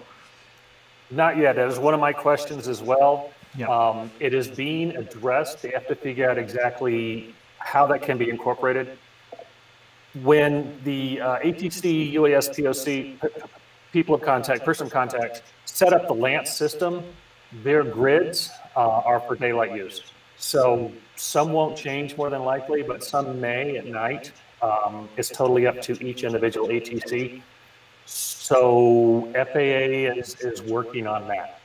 Okay. Let's just leave it at that. That's, I've been, I've been, I've, it's, yeah, it's been, it's just been, they're working on it. That's all yeah. I can get from them. And that's that's the reason why right now you can't submit uh, a recreational pilot request at night because of, of, of this issue. So uh, so only via the drone zone at the moment is what when that comes into effect. That's what we're gonna have to do. Mm-hmm. Yep. Okay. Uh, what form will the proof of night training take? Print a document from the FA online course. Yep, pretty much. You'll get a graduation certificate, and then that's your proof of training. Uh, just passed my test on Tuesday. How long does it typically take to get the certification number? Uh, about 30 days, uh, 30 to 40 days is what we've seen with our students typically. So that's what. Oh, okay, been, cool. Yeah, I'm, that's what, seeing, I'm seeing some around 60. Oh, okay. But, wow. Uh, yeah. Yeah, it's yeah. 30 to 40 is what. COVID has messed everything up. Yeah. well, that too. Yeah, it's probably longer now. Uh, indoors will be very limited in altitude, right? Uh, so they should be able to sort out this issue. Uh, yeah, so we had this discussion before Vic, and this is from 20 minutes ago, so this is how far we are down the list. Uh, there was um, uh, somebody was asking about flying indoors, which is obviously going to be an issue because you'll have no GPS signal, so no element. And I know the the the the final ruling has talked about this and saying that maybe somebody's going to come up with some special uh, digits to put in there so that it can comply. What's your take on this? Um, they do have to figure out the integrated side, so the um, um, broadcast part, not the module part. But the FAA does not control indoor flight, so it's going to be a technical issue from the aircraft when you turn it on. So for um, to go through the startup process to check uh, check our ID. Yep. Uh, so it's not necessarily going to be an issue with FAA rules. It's just going to be an issue with the um, with the RID, in, integrated RID. Yep. Uh, if you're a module, it won't matter. Good. Here's a good question. After completing the training on the FAA side, will there be an updated card issued to reflect the permission to fly at night? Nope. Nope, you'll just have your certificate. Now, something that people always get confused about, your pilot certificate, when it's issued, it does not expire. So you'll never get a new card unless you lose it and then you request a new one. But even in the past, when you did recurrent training, you never really got a new card. All you did is you kept the certificate as proof of, of currency. So in this case, you'll do the same. You'll just have your certificate, proof of currency. So if anybody from the FAA asks, then that's what you're going to give them. Uh, studying for the. Okay, will will the credit for recurrent training take effect when completed or tag onto? Hold on, let me put this one up here. Will the credit for recurrent training take effect when completed or tag onto the yeah as soon as you take the training that's when it starts basically and that also resets your clock for two years so now you're 24 calendar months. So your 24 calendar months um, is going to start back from there. So um, for people that are going to do this in the future, once you take the new test, let's flash, flash, fast forward to March of 2021. You're going to take the initial test. The night training is going to be in there. You'll be tested on it. And then from here, you start the clock for 24 calendar months. After 24 calendar months, you no longer have to take a test. All you have to do is take recurrent training and then you'll be able to reset the clock again. And uh, I was mentioning earlier, Vic, about the, the WINGS program equivalent that's going to be kind of put in place and uh, how people will be able to do not only night training, but they'll be able to do other type of training to stay current and then get credits for that. So that's pretty cool. Um, yeah, so um, 24 months from when we get, we start to be able to take the recurrent, the same thing's going to happen again with a bunch of people flooding a website. So what I would suggest in a situation like that is take it 23 months after your initial uh, or after your recurrent. And so that way, you know, you lose a month, but so what? At this point, it's free. Yeah, exactly. Yeah, the, the free part is kind of a, a big deal. Will it be a requirement for home-built UA to fail-safe prevent the vehicle from flying if the RID module is not functional? You shaking your head no, Vic. Yeah, no, uh, the module does not have a does not have a fail-safe integration. Uh, oh. If it fails, it, um, it's up to the pilot at that point to make the decision or operator. And um, yeah, that, that's when if you're inside, it's going to be a lot better off to have a module than uh, integrated. But um, yeah, no, it's the, the module itself will not be integrated into the flight characteristics of the aircraft. Okay, so that's cool. I actually had that. That was a question that came up, and I didn't have the answer. So I'm glad you mentioned that. Um, I didn't either till a couple days ago. I get to hang out with some pretty smart people, so yeah, um, yeah mean, that's that's always the key. That's awesome. Well, that's good. That's good to know and kind of share share the knowledge. Uh, where are we at here? If flying, oops, let's do this again here. If flying indoor with a module, can you simply set the module outdoors? Will it be, well, you'll have to keep broadcasting throughout the entire flight. So no, that's not, but from what Vic is saying, but again, and from what we've seen, matter. yeah, I don't think it will matter. The FAA doesn't care. Yep. How about flying ATI mode with remote ID? Um, let me think no about that.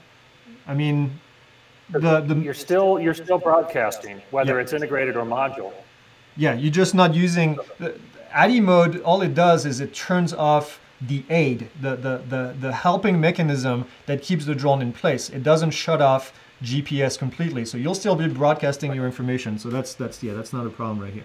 Uh, where are we at here? Good question. Yeah, that was a good question. That had me think for a second here. Uh, I know you focus on DJI, but do you have any info on Autel? Autel more than likely will do the same thing as DJI. Um, uh, Mavic Air 2 with prop guards would be probably a category 2. Um, yeah, yeah, I would say if, if so. What, what have you heard about that? ASTM should have their standards up pretty soon. I'm assuming we're talking over people at this point. Yep. Um, and we can't really say yes or no definitively on anything yet. But um, with once ASTM does come out with their standards, which ought to be pretty soon, Kenji's part of that, so that's really nice. Um, it would probably fall under category two. Uh, it's just going to have to be the testing that backs it up to make it actually qualify. Okay. Yeah, so it, it is possible that all these drones, I mean the Mavic Air 2, I mean the Inspire and all of that, it would qualify for two or three. I don't know about the Inspire 2, right. it might be a little too big, but might well, be category with, with the prop or with uh, prop kill and uh, um, parachute more than likely. Yeah, parachute for but, the. Yeah, it's got to be tested. Yep, yep. Um, let's see.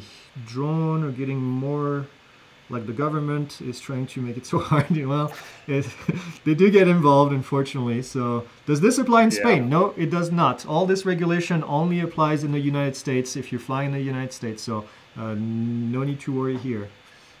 But I will kind of add to that a little bit. Um, in the aviation industry, it's sort of like as the FAA goes, so does the world. Yep. So, you know, there's a, there's a good chance that something like this will possibly be um, uh, part of some of the other countries at some point. Yeah. Well, but and, right now, no. And, and France just put out remote ID pretty much just like what they did in the US a couple months ago. So um, you can expect it, especially with Europe right now. Europe is trying to centralize all of their regulations, so uh, EASA will more than likely do that. So, uh, is there an outline as to how the FAA will determine how the 11 foot pound of kinetic energy is determined? Uh, that's not up to the FAA actually. That's going to be up to the manufacturers to figure this out. So uh, they're they're saying, hey, this is the requirement. You guys play with it, and then you tell us how you're going to make it happen. It's, it's called performance-based standards. Yep. Um, and what I like to do is, when I'm trying to explain it to somebody, is like the NTSB says, if you have a 5,000 pound car going 50 miles an hour, you have to stop in X amount of feet. Yep. So then it's up to each individual automotive manufacturer to figure out how to do that and prove it. Yep, absolutely. Um, so that's basically a good way to put it.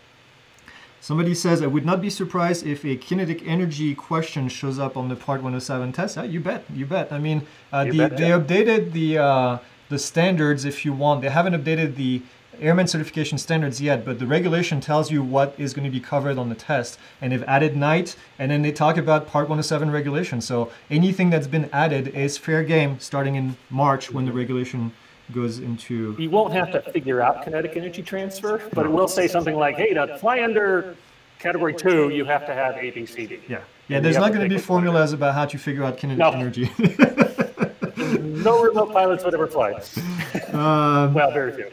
A 250 gram drone flying and falling at 20 miles an hour, 32 is 14.7 pounds, foot pound of kinetic energy. Okay, he'll, he'll keep flying because he's smart. Interesting. Yeah, no, that's awesome. um,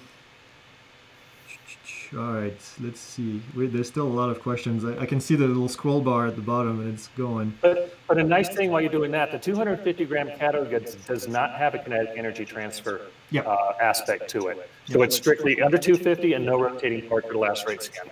Yep. Correct. So yeah, it would be it would, this, these will be a lot easier to fly over people for sure. And in remote ID, if you fly over open air assembly for a sustained amount of time. Uh, will people needing to pay the 160 to renew? Nope, no more 160. Um, PSI is going to lose a lot of revenue on that, easy revenue. Uh, will they allow online renewal testing for Part 107? Yep, we mentioned that a little bit here. Nope, it's training. Oh, yeah, training. Yeah, good, good catch. Yeah, so testing no longer exists, training now.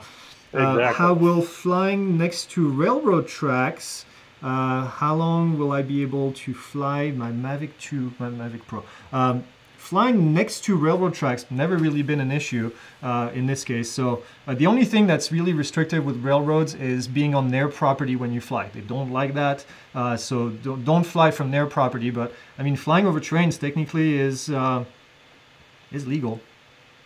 Yeah, um, I think he's probably referring to the um, uh, uh, shoot, what's it called? The uh, and for critical infrastructure yeah. um, aspect of it. Lots of lots of organizations. I fly over a refinery, and they get really upset about it. Uh, I just have to every month because of the situation I'm in. But um, the first time they flew, they came out and said, "Hey, we're critical infrastructure. You can't fly over us." So um, just because they say they're critical infrastructure doesn't mean they are. There is a specific DH list, DHS list, sorry, um, of specific critical infrastructure. Yeah. Um, just because you're on the, you know, you call yourself critical, it doesn't mean you are. Um, and it's not an all-encompassing all refineries. It's certain refineries, you know, certain nuclear power plants, that kind of stuff, dams, that kind of stuff. And it's all state by state as well, if I understand correctly. It's it's a bit. Uh, no. no. It, okay. Well, it is. Um, you look at the Texas law, and it, it says critical infrastructure, and it lists all those things I just mentioned. Um, but state law is trying to control the NAS, and that by definition is preempted by the FAA. Um, so with what the NPPA is doing in Texas right now, hopefully that'll be thrown out. Um, but again, it gets back to the land use issue. Um, and so technically states can't control the airspace, yep. although many try. Yep. Oh yeah, for sure. But that doesn't mean you can't get cited. You'll just have to fight it if you do. Yep, and that's yeah. We've we've been um, we we get a lot of questions on a daily basis about where can I fly locally, you know? And so we we actually put a, a wiki uh, for those of you that don't know, we put a wiki page together that is uh, user managed. So if you find a restriction somewhere, you can actually add it to the wiki and then it will show you all the state laws and all the regulation and it's updated as it goes. So what we found is over time, all these pages that have information about restrictions, they never get updated. So the next day they're pretty much out of compliance. Right. So we have it so that you can actually help manage the page. So uh, it's been it actually been working. Awesome. Would you send me that link? I didn't know you had that. That's yeah, yeah. That's it's somewhat new, that. and we're still I making. Should be somewhere on my computer. Yeah, we're, we're making tweaks to it as we go, and, and it's still awesome. a fairly new project, so we haven't advertised it a whole lot, but we've been getting quite a few people yeah, con- contributing. Yeah, it's uh it's it's important, and then user manage the wiki makes the most sense because people can go in there and make changes. So. Um, Okay, as I read it, blah, blah, blah.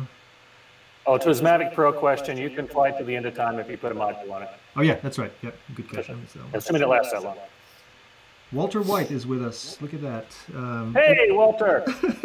hold on. Oh, I messed it up. No, I lost my spot in the questions. I would like to point out the Mavic Mini Mini 2 are 249 without. Um, they would go over with. Yes. Yep. Um, a little in uh, no confirmation. Let me just put it this way: Japanese batteries weigh a whole lot less. Yep. If those can be um, imported into the United States, there is no confirmation on that. There's a good possibility that the Mini and the Mini 2 um, will qualify for Category 1 on the day it's operational. Oh, interesting. So, yeah, because that it's not confirmation because it's 199 I think for a gram for the the Japanese version. For the Japanese, and I, I, remember. The, the cages are less than 50. Yeah, it's 242. I waited oh, mine weigh here. Mine. Oh, okay, cool. Yeah, it's 242 for the Mini 2. The Mini is right at 249. It's right at the edge, but the the new batteries Ooh. are lighter on the Mini 2 than they are on the old one. Uh, so I did, and then I put I put the prop guards on there too. It's 258. I think I mentioned it in the video somewhere. Oh, okay. Yeah. So yeah, if we can get those Japanese batteries here in the states um, with the prop guard, they should come under then. Yep, it would definitely work. But again, no confirmation from DJI. I tried to ask, and it's the weekend, so they couldn't get they couldn't get a, a confirmation for me. Cool. I should try to get Brendan on our uh, meeting next week so he can uh, get grilled on all this. A Wednesday? yeah. I think that short notice isn't going to happen. Um, okay, one of the flying over people thing was people being hurt by props. Yep, I would assume that DJI could shut down the motors on free fall programmably. Mm-hmm. Yeah, probably. I, I would. Yeah, they could. They could. Yeah. Um, same type of stuff that the parachute companies do, uh, Pair, uh, ParaZero and uh, Indemnis. They have that motor kill switch based on accelerometers. Um, so yeah, uh, that it, all it says is rotating stuff can't hurt people, and so if your props aren't rotating, you're fine. Okay. Somebody else brought up that they could also make breakaway props, but I'm not sure I want breakaway props on a drone. No, I don't. I don't think so either. That yeah, that would be a horrible idea. I, am sure there will be new t- other technology um, yeah. added in the future. Uh, that's kind of the great thing about regulation, in a sense, is that it brings up smart brains that create smart stuff. So performance-based stuff is it really it really uh, um, fuels the innovation. Yep. If you part 107, can you still fly a sub 250 gram drone as a hobbyist without remote ID? Uh, as far as I think, yes, absolutely you can. Uh, uh, you, you can fly, have, as a Part 107, you can fly under uh, hobbyist or under 107. You just yep. have to decide at time of flight. At the time of flight. Now, here's one question that I, that I thought about.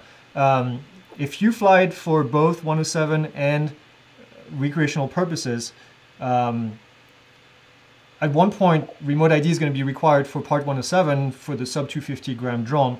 So I wonder if DJI is going to ask you when you take off if you're taking off as Part 107 or if they're just going to basically broadcast based on the fact that you're Part 107 certified. Well, since your uh, your uh, RID can't be tamperable, um, yeah, it's it's you're not going to be able to turn it on. Yeah, so I'm, I'm guessing yeah. when you enter information in the Mavic in the in the Mini, you're gonna have to answer a bunch of questions and say, "Are you Part 107?" and then that's gonna turn on. I'm, I'm guessing remote ID. It'd be interesting because that's going to be I a just, dual I don't purpose. think turning on and off is an option. Yeah, if it's, if it's integrated, it'll be on from liftoff until you shut the motors down after landing. Uh, what is it going to take dead for the FAA to understand that give people location is a big mistake? Yeah, well, um, they understand it now. Yeah, I, am sure. I'm sure they've gotten the word. I mean, they got the word before with the 50,000 comments. I'm sure 45,000 of them told them not to do it. But um, so, what, what's well, your take um, on on how that's going to change? Do you think there's a possibility that this is going to change? Um, no. Be, the reason it's there is because none of the federal security agencies would sign off on this if it wasn't there.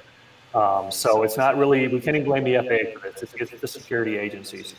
Um, when I got, uh, I was one of a select group of, of people that got the, the rules early uh, Sunday morning before it came out. And that afternoon, I sent a uh, uh, tersely worded email, I think is a nice way to put it, um, to say that this, this is a huge issue. Uh, and it was also then addressed before rollout in our meeting, and they understand it. And they are going to try and work on ways to get the public to understand that interfering with us is a federal crime.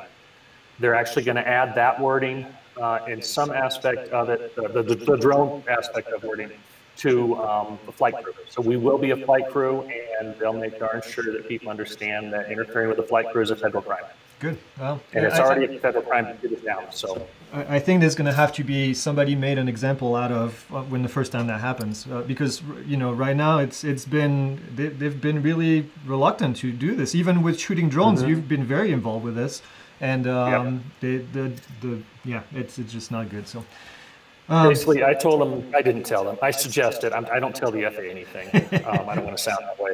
But I suggested that if the uh, somebody is made an example of quickly, um, more than once, and publicly. Yeah. Yeah, the publicly part is always the, the, it's always the difficult part with the FAA because I've talked to FAA inspectors in the past and I said, why don't you guys, because they do investigation and you know that. I mean, mm-hmm. they, they investigate, they issue fines but they don't advertise it because their lawyers don't want them to do that, and uh, and, right. and, that's too bad because I think it would you know send the word to a lot of people that hey stuff is happening, the FAA is doing stuff. So um, okay, I've been on. involved in four different investigations I can remember. Um, in different aspects of it, and I can't call and ask how it's going. It has to be a FOIA because yep. I'm not an FAA employee. That's right. Yep. Um, okay, there was a good question here that I saw. Oh yeah, Will says uh, looking forward to what drones will come out in the next two years that are category two. Uh, yeah, and I, I oh, think what we'll see, we'll see not only that, but I think the next set of drones is going to be compliant very quickly with remote ID as well. Uh, I don't see DJI or any of the mm-hmm. big guys, to, yeah. yeah, selling anything, and I'm pretty sure actually that's why the um, the Mavic uh, 3 Pro has been delayed for so long. It's, I mean, it, it just wouldn't surprise sense. me. Yep. Um, and that's speculation on both our parts. Oh so, yeah, of course. So you know. uh, the new FAA regulation already came into effect. Correct? No, not yet. Uh, not until it's published, and then not after a certain uh, period of time. So you've got time. It's not in effect yet. And then even when it becomes in effect, you still don't have to comply with it for remote ID for an extended period of time. So we had a timetable um, published at the uh, DSPA um, uh, blog Yep. So if somebody wants to go to that. I'll put a link down in the comment when we're done in the section. Awesome. So, and so this does apply to fixed wing RC planes. Yes, absolutely it does. Uh, unless they're sub 250, in which case they don't have to comply with remote ID. So Or fly to FRIA. Or, or fly to FRIA. Uh, FRIA. FRIA, is that what you say? Yeah, FRIA. Uh, federal uh, FAA recognized identification oh, no, zone. I, I was oh, saying that, I was saying the pronunciation. I call them FRIA. Yeah, everybody else calls it Fria. So oh, okay, well, I'll, I'll change. it's like you're getting fried, fryer. It's a fryer. yeah, no, yeah, that, that, that'd be a Billy bad name for it, then, wouldn't it? No, and the Frias are going to be much easier to come come across, so that's going to be really nice. Cool. Uh, I've just joined a part 17. Uh, where, where do we take the FAA test safely during the COVID uh, conditions? Um, there's no real option. You have to do it in person for the test. So uh, look for a place that may have a small room where there's only one computer, and then you'll be the only person in there. But that's really the only way to do it. Well, when I took my second recurrent, um, it was during all this silliness, and um, the place I went to is the third time I've been there. There's three computers, but you only allow one person in the room at a time. Good. You're masked up, and then they clean it afterwards. So they do have, uh, you know, they do take care of it as well. So um, unless you're a super high risk group, then I really wouldn't worry too much about it. Yep. How would remote ID in its current form address issues for BVLOS? The FAA keeps throwing out that carrot and I don't see how it's not. It wasn't really designed for this. And and and no. if you've watched my video on Friday, I kind of touched about this a little bit. But the FAA basically kind of gave up on trying to make this a one solution for all immediately. They wanted to roll this thing out quickly, so they basically focused on most of the operations out there, which are non-BVLOS operation. And they mm-hmm. said, and you know, if you watch the video, I said, hey, we're, we're not done with the requirement for uh, network that's going to come back in the future, more than likely only for BVLOS operation. And uh, but they wanted to roll something out that works for most people. Now, right now, BVLOS is is governed by a slightly different set of rules with waivers and all of that, which requires different technology. So we don't really have to worry about it. But right now, that doesn't really answer the question of making BVLOS operation routine. That's not the goal of this regulation, but that's uh, Jed. Jed is uh, is on our page a lot, asking a lot of really good questions every week. So uh, good. Uh, that was a good Ask question. those questions. Well, I would say that the biggest, um, the best thing that's going to really push BVLOS forward is going to be UTM, so unmanned traffic management.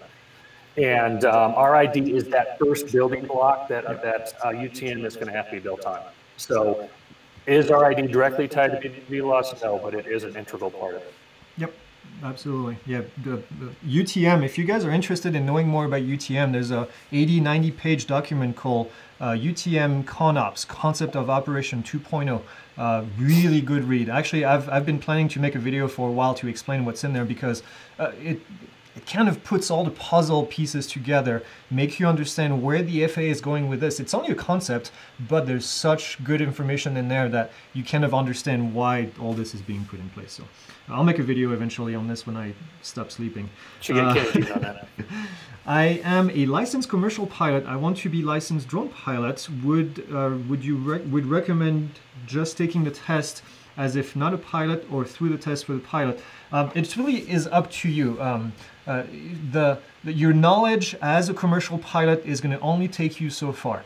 The Part 107 regulation is never covered under flight training, and, and we do flight training, so I can I can tell you that, and I'm a commercial pilot as well. So, um, and then your knowledge of airspace, as good as it is, is a different set of skills that you would apply as a as a drone pilot. So, I would say find information that will make you current on these topics, at least, at the very least. Uh, battery management is also another one that is not covered under, under uh, pilot courses, typically, man aircraft pilot courses. So I would look into all of this, and then obviously you can do it the, the, the easy way, which is go on the FAA website, do the training, as long as you're current with your Part 61 mm-hmm. uh, certificate with a flight review, then you can do that. Uh, I would say, I, I, if you guys watch me, been watching me for a while, I'm not about just passing the test. Uh, I'm all about you being proficient and knowing what you need to know to be proficient and not be a danger in the airspace. So uh, I would say do the test online, but educate yourself and learn more. That's kind of um, well, that's that's. That's one of the things I really like about what you do. You don't just teach to pass the test. Um, there are some out there that do that, and yeah, that's fine. Um, you pass the test, but there's so much more you have to learn after you already know the test. Yep. Um, and you you're really good at doing that for people already. Yeah, and you know as well as I do because you're on forums just like I am, and you see the questions. I'm Part 107 certified, but and here's my question, and I'm like. You should know this. You, this is something. So that's kind of the reason why I created these courses is because I wanted you to have the background understanding why we do things and giving you. Most of the time, it's because of man aircraft. Not because it's due to the fact that there are many aircraft pilots flying in the air. So uh, we, um, I gave you that background, and, and that's helped you really understand all that stuff. Okay. Um, is there? I want to get on my soapbox for just a second, if I may. Say when what? it comes to stupid questions online, I want to get on my soapbox. Yeah. Um, if you have what you think is a stupid question, please ask it. Yes. Because I'm of the mindset that I would rather have you ask a stupid question that you think is a stupid question and make a stupid mistake that's so that it's just inherently easily prevented. Yep. Um, and if you're on one of these forums and you see somebody that you think is a stupid question, either don't answer it or answer it nicely. Yep. Um, I see so many people. Oh, what's this? It's like you should know this. You, you call yourself a 107. Blah blah. blah. It's like don't do that. Yeah. Don't be a dick. Because yep. people are going to quit asking those questions, and stupid mistakes are going to happen. Yep. Just if you if you can't be nice, but my mom, everybody's mom used to say, if you can't say something nice, don't say anything at don't all. Don't say anything. Yeah, or and I agree. Rather, don't say nothing at all. Yeah. So, um, yeah, just pass on it or be helpful. Yeah. I agree. Absolutely, 100%. Okay, yeah. off my box. Sorry. And no, no, no. That you, you, you, uh, absolutely right. And and you know, um, the um, and I've said this in my message for Christmas to all my students. I said, be an educator. Help other people. There's going to be a ton of people that get into this for Christmas. They're going to get a new drone and they're not really going to know what to do. Educate them. Spend a few minutes saying you can fly over 400. You can't fly near airports. You have to get approval. Uh, download before you fly app just so you get information. All the basic stuff that we can teach. Go on the FAA website. So, uh, so yeah, you're right. As as an educator, we should all be really educators out there. So good, good, uh, good. Every mention. time we fly, we're an ambassador to the industry. Yep, and not only that, but a student. I mean, I still learn stuff. I'm sure you do, mostly Oh, on a daily basis. Oh, I mean, yeah. never stop learning. Actually, I find myself sometimes. I was like, crap. I've been teaching this not wrong, but not as well as I could, and then it kind of goes back, and then it starts to fall in place, and I don't know. It's just cool. Is there any indication that the manufacturers will provide a consistent implementation of RID, or will there be any solution available specifically? Yeah, I mean, uh, there is lots of indications so far. I think a lot of them are still trying to figure out how it's going to happen, but yeah, I think all the big manufacturers out there will definitely have a solution. We mentioned that. They're just Um, holding their breath for the ASTM standards at this point. Yeah. Once those come out, um, they'll just jump right in. Here, do you think remote ID? Do you think with remote ID in place, they may consider BVLOS eventually? We, I think we just had a discussion about this. Um, the, let's see. Take an act of Congress to filter the pilot location in the app. Uh, it would, but um, I don't know that it's going to happen. Yeah, although the FAA can make an emergency rule, like what they did with the um, um, original hobbyist um, registration. So it's in their power to do it. Um, whether they will or not, they're going to have to get a lot of people to sign off on it. You know, like we mentioned earlier, the uh, Yep. federal security agency. Yep, I agree. When does this go into effect? We kind of mentioned that before. I want to wrap it up because I still see questions coming up, and we're not anywhere near the bottom of the page. So. Well, you Oh, can good. save some of these for Wednesday too. If you Yeah, yeah, that's true. We could, we could, uh, I could stop it eventually. Let's keep going for a little bit more, and then uh, we'll we'll go to two hour mark, another 15 minutes, and then uh, and then we'll stop after that. This is a good one right here. Uh, do you know if the FAA will be logging RID receivers and their operation as criminal evidence should anyone abuse the? Um, so, from my understanding, and then Vic, I'll give you the floor after that. Uh, th- there's no real way to capture that data because it's just a broadcast. It's just a signal that is being sent. Now, I thought about this last night because somebody else mentioned that uh, the only way really would have to for someone to install a receiver somewhere to be able to collect that data over time, which I'm not saying it's not going to happen because it could, uh, but that's really the only way right now. So it's not something that's going to be recorded in your flight logs, although your flight logs are going to be recorded, so the FAA can still use that uh, if they are available and uh, if you provide it to them. And otherwise, no, I don't think so, right? The only exception to that would be some of the smart cities out there that already have some of these grid receptors up. Um, they could modify those to store the data. So, but with the pilot location being known, there may be some Fourth Amendment issues with that, but I'm, I tell everybody, hey, you're, you're getting legal advice for somebody, or, you know, from somebody with an art degree. Yep. So, um, is it possible? Yes, there'll be some Ts that need to be crossed and Is that need to be dotted first. Yeah, and I'm sure there's going to be to be even and, and, not only that, but then to be used in court against you is something mm-hmm. even completely different. So yeah, self-incrimination, yeah. Yeah, we, I don't know. I, I wouldn't worry too much about it, but uh, we'll see how this goes forward. Uh, did they mention the safety test? This is a good question. That was supposed to come out last summer for all drone pilots, and that was supposed to come out late December. Uh, I wish we had Kevin here to grill him on that, Kevin Morris. Well, I uh, did. Oh, you did? Well, I mean, I grilled him a couple months ago, asking him what was going on, and yeah. he told me he said uh, December, and uh, and I'm sure. I mean, I know he has a lot to do, and and so so what what was the latest? It's there. It's ready. Um, they just be a good old dot some i's and cross some t's. Um, they just that's all they need to do. It's ready to go quarter one next year, and it could literally be next week. But I don't, you know, I don't know. It's it is going to happen. Uh, same thing with the CBO developed uh, with the FAA on their safety regs. Yep, the last two things. The last two pieces, the 4.09. Yep. Yep. So, um, and then there was one more step that they have to do before that is they have to select the, the testers, and I think that's. They have. them. Okay. Interesting. I don't know if the testers know that yet, but they do have. They've got that stuff all set up. Um, I don't know if they have the complete list, but yeah, they do have it. Cool. All right. Uh, from... Hope I was allowed to share that. well, we'll find out. Is your phone ringing yet? Oh well, there's a twenty. There's a twenty second. There's a twenty second delay, so you'll see. Um, awesome. George, it says, I'm in class Golf airspace and see helicopters flying at about 500 feet, which worries me when operating the drone at 400.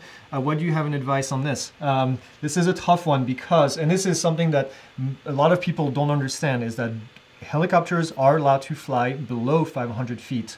Uh, unlike manned aircraft that have a lot of uh, other manned aircraft, I should say, that have a lot of limitations, uh, but helicopters have kind of a, a different set of, of regulations. So, uh, with that being said, my recommendation is keep your eyes open. If you fly in an area that you know there's a lot of helicopter traffic, um, get a drone that has um, ADSB in that can receive the signal if they are transmitting that signal, obviously.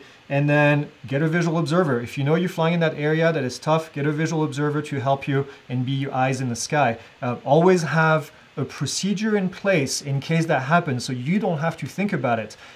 If I see a helicopter coming, what am I going to do? Am I going to drop down? Am I going to get out of the way? More than likely, you're going to drop down, but you need to think about these things. You know, when, when I fly an, an actual airplane, and I'm sitting there, the one thing that I'm thinking about when I'm not thinking of something else is where am I going to land if I lose my engine? And this is something it's it's ADM, it's aeronautical decision making. It's something that you have to be ready for. So every once in a while, you're looking around, you're looking at your at your thing, and then you're seeing whether there's an airplane, an airport nearby, or a field or something. But it's always something that you have in mind. So kind of the same idea here. Just be ready for it. And Vic, you may have some additional tips because I know you fly uh, you fly on a regular basis oh, yeah. for your business. So um, and for myself sometimes too, because I'm a hobbyist too. Um, but here in Colorado, we're lucky in that all, the, all the choppers have to have altitude props. So you hear them a long time before you see that. They um, as they're coming in, uh, especially the DoD helicopters. Uh, and the other thing, if you're going to be flying in an urban environment that does have some of the, um, you know, the, the, the, flight for life type helicopters, uh, medical evac, um, find out what frequency they're on, and buy an aviation radio and monitor it. Oh yeah, yeah. yeah. Back I, in the day, that, that we had to have 10729 waivers. Back in the day, wow, we're already we're already using past tense on that. um, that was one of the things when I was working with people on their waivers. It's like you mentioned that you're going to have an aviation radio to monitor the helicopter uh, frequencies. Yep, and it's important, and and not all of them are going to be unfortunately talking on the on the radio, and and sometimes right. it's hard to find which frequency to listen to. But if you're near an airport, I always tell people if you're going to operate near an airport, get one of those portable radios and then just listen. And it's it's hard to do. I mean, uh, it's even hard for me to do, and I'm used to listening on the radio all the time and talking as a pilot. But uh, it's it's just you have to concentrate on doing this and then listening. It takes some skills, but have you visual observers. You know, if you're operating yeah. near an airport, don't listen yourself yeah, you, you should just be doing it and train them on how on how to do this. So right. um, yeah, lots of really. And another good... quick option I would suggest if you're doing uh, very limited uh, situations, but I've done a couple jobs near, I mean, literally right across the street from the helipad. Um, so I reached out to um, the uh, flight nurse um, there, and I said, hey, you know, you, here's my here's my VO's phone number. If you got incoming, you call us. We'll put the bird on the deck, no problem. Yeah, talk. I mean, so, that's a really good point. Talk to people. You know, let them know that you're going to operate. Don't try to just operate in your corner. Uh, try to let them know what's going mm-hmm. on. I had a student who actually lives in Prescott uh, near me, and uh, and we have the same issue. We have a helipad in one of the spots, and um, and he did the same thing. He contacts them before he goes flying, and he doesn't have to, but he does it, and then just basically uh, contacts them and then gets information, and that works really well. So yeah, talk to other people. Here's an, a, a, it's funny. We're sitting talking about that. And my office is in my basement. I got a helicopter flying over right now. nice. Uh, Tom is asking, is there a listing available of existing FRIAs? There's no FRIAs at the moment. They haven't been approved, not for another 18 months. So once they are, though, they will be available on the FAA website. My guess is they also will be available on the UAS facility map, uh, or I call it website. I call it the U.S. facility map, but somebody from the FAA told me that I shouldn't call it that because that's not the only information there. But I don't have a better word for it, so. I just call it the FAA ArcGIS map. Oh yeah, the ArcGIS map. Okay, that's good. Mm-hmm. Um, blah, blah, let me see. All drones. We're, we're going to wrap it up pretty soon, another five ten minutes here. And then whatever questions are left, I'm going to keep them. And then Vic and uh, Kenji are going to come back and uh, and then answer more questions next week. So I'll, I'll have that available on Wednesday morning uh, for you guys, and then we'll, uh, Wednesday early afternoon, and then we'll uh, we'll have more questions in there. We'll bring Brandon from DJI. We'll drag him in and ask answer DJI questions. Um, here, let's see, if you need a module, can you use it for all? Oh yeah, well, that's a good question right there.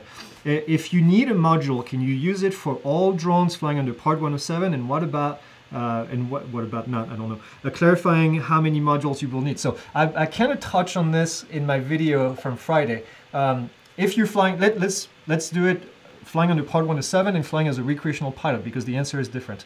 Under Part 107, the certificate of registration, which is the the registration certificate, I'm, I'm surprised the FAA calls it certificate of registration because every other place in the regulation they call it registration certificate. But anyway, uh, the certificate of registration, you're going to have to tell the FAA that you have a specific module attached to a specific drone. So my Inspire 2, I'm going to have to tell them that Inspire 2 is associated with module XXXX with the serial number. You cannot use the same module under Part 107 with another drone. So in this case, you're gonna have to get another module if you wanna fly that drone for Part 107 purposes and then add it to the certificate of registration for that drone. Each drone is gonna have a separate uh, registration, certificate of registration. If you're flying as, and then if I say something wrong, Vic, stop me. If you're flying as a... I've heard different, but keep going. Okay, well, I'll, and then, well, okay. And then as a 44809, you are going to have one certificate of registration because it's one per person and then you will be able to attach all of the modules that you have and then you will be able to basically remove the modules and put them to each drone that you want because it will be attached to that specific certificate which kind of makes sense to me. So tell me what you've heard that's different. We'll get confirmation from kevin on this before wednesday so come back. Little teaser. Um, what i'm understanding is i could buy you know for all my retrofit um, legacy drones, I could buy one module, and that can then um, put uh, another drone because each each registration is tied to a number on the on the uh, RID module, but that module, I believe, can be used on other drones because you're not going to be flying more than one drone at a time. Yeah, but we'll get confirmation on that.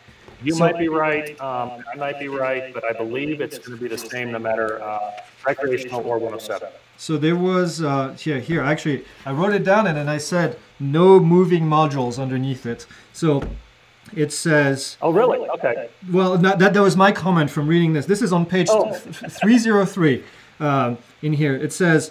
For unmanned aircraft registered individually and operated under Part 91, Part 107, Part 135, uh, the FAA clarifies that the serial number used to register a standard remote ID unmanned aircraft or a remote ID broadcast module may only be associated with one registration application. Oh, okay. Well, okay, that makes sense then. So that you are probably right.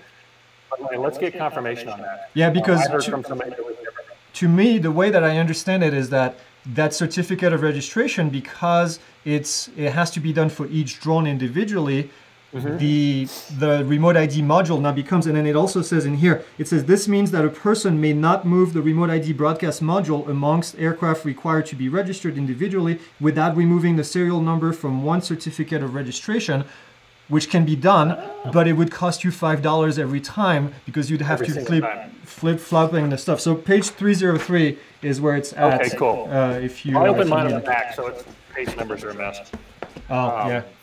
Well, even even if it is doable, like you're like I'm saying, which it sounds like it's not based on what you just read. Um, I plan on any any legacy drone I have, or my tiny whoops, or um, um, whoops. I'm going to have its own module anyway, just to make my life easier. Yep. But for me, it's a business expense, not a hobby expense, so I can you know I can justify it a lot better. Yeah, I agree. And well, I mean, we don't have a, a price really right now for the cost, but uh, I don't. I'm guessing 25. That's just yeah. educated guess. I'm going to do more research because I know in Europe they're selling them. So whatever the price is in Europe, probably 10, 20% less here because of taxes and all that stuff. So yeah, um, Yep. Um, Mar- Marty had a good one. Marty is one of our students. 400 feet or, or not, drones still have to give way to all manned aircraft. Absolutely. Bingo. 100%. Yep, exactly. Um, okay. Uh, let's do a couple more and then we'll stop. Have you or will you post a link to the published new laws? Yes, they are available uh, in the video I posted on Friday. I'll put them in here as well so you can see the uh, 700 or 800 we have them on pages. our blog as well. Yep, and then yeah, on the on the, on Vic's website on the D DSP DSPalliance.org. DSPalliance.org. Thank you. Um, how would someone reading this that has it? Oh, no. Do you think? Do you think that the AirMap interface will change? Well, AirMap. I don't care for AirMap. So uh, AirMap or um, or Kitty Hawk or whatever. Uh, I don't know that they will really change much. I don't see a need for it, other than showing you where the FRIAs are going to be located, right? But yeah, I, I would imagine they would. Uh, but since RID is not tied to LAANC, uh, I just really don't see it being an issue. Yeah. Um, okay, we'll, we'll finish with Jed. Uh, how will remote ID in its current form address issues for BVLOS? The FAA keeps, oh no, that, we, we answered that one already. Um, somebody says, hey Vic, so that's a, when you came on board. That's how far we are in the comments. wow. Uh, oh, this is a good one actually. We'll finish with this as a discussion, and then uh, I'll I'll do the rest of the questions in here. Uh, how about uh, something getting hacked? Now, not only the database getting hacked, but um, you know somebody hacking the software so that they can fly with Mode ID. Uh, it's supposed to be tamper-proof, but we know that uh, bright minds are out there. Um, tamper-resistant is the word. Oh, temper resistant, yeah yeah, there's no such thing as tamper-proof. We all know that. Um, you know, half the seventh graders out there can probably hack it already. Yeah. Well, and so, yeah, we don't want to give tips, but obviously there are things there are things you're going to be able to do to block the GPS signal and mm-hmm. all of that. So yeah. Okay. Well, yeah, I'm going to. Will be hacked at some point, but uh, that's just the nature of, of the world yeah. now. And I don't really see, quite frankly, I don't see a need for it because Mm-hmm. I know you were worried too, and, and I was really worried about what they were going to come up with. And um, and they, they listened. I mean, I'm really pleased to see that the FAA actually listened to all these comments. So this is fairly reasonable, except for a few things that um, I have issues with, but mostly I think this is a pretty good So um, it's a good start, is what we call it on our blog. Yeah, yeah, it's a good start. I mean, title. Yeah, no, exactly, absolutely. So yeah, I'll stop right here. We've been going for two hours now. Uh, thank you for all wow. the questions. You guys are awesome. I don't know how many questions we answered, but it was a ton. Um, I'm gonna keep. I'm gonna go through the rest of the questions. So keep putting them in here. I'm gonna make a summary of, of the good ones, and then we'll come back next week on Wednesday with Vic and then with Kenji and Kenji has uh, has more insights also because he's involved with the standards, so he has a bit more of a technical aspect of things uh, than uh, than I don't have. I know Vic is, talks with him a lot as well, so uh, we'll be able to answer more of these questions. And I just want to thank you guys for your time. Vic, thank you for joining in after your uh, your thing this morning. Yeah. And then uh, you'll have some great questions. Keep it up. Yep, yeah, and so we'll keep keep educating people. If you see people are answering the questions incorrectly, you know the best way that I found to answer people when, when you think something is incorrect, go back to the regulation, find the page that the stuff is on, and then tell them, I don't think this is correct because of this. And then here's the information. You can't go against the regulation in itself. So um, let's get the word out so that this is not confusing, so that we don't have uh, false information like I've seen a lot, and um, and then we'll go from there. So Vic, have a great Sunday. For, for, for what? For printing out, for printing out the final rule. Oh, I, I read better on paper because I can I can flip flop between all different things because you know I put like a bunch of tabs right here in the corner and I can go to each of the different sections. But and, and especially the regulation because you know the regulation is really the big part of it, but it's at the end, so you have to keep going back and forth. So I like the the printed better. So I killed a tree doing it, but um, I'm gonna keep doing this. We're using it for a while.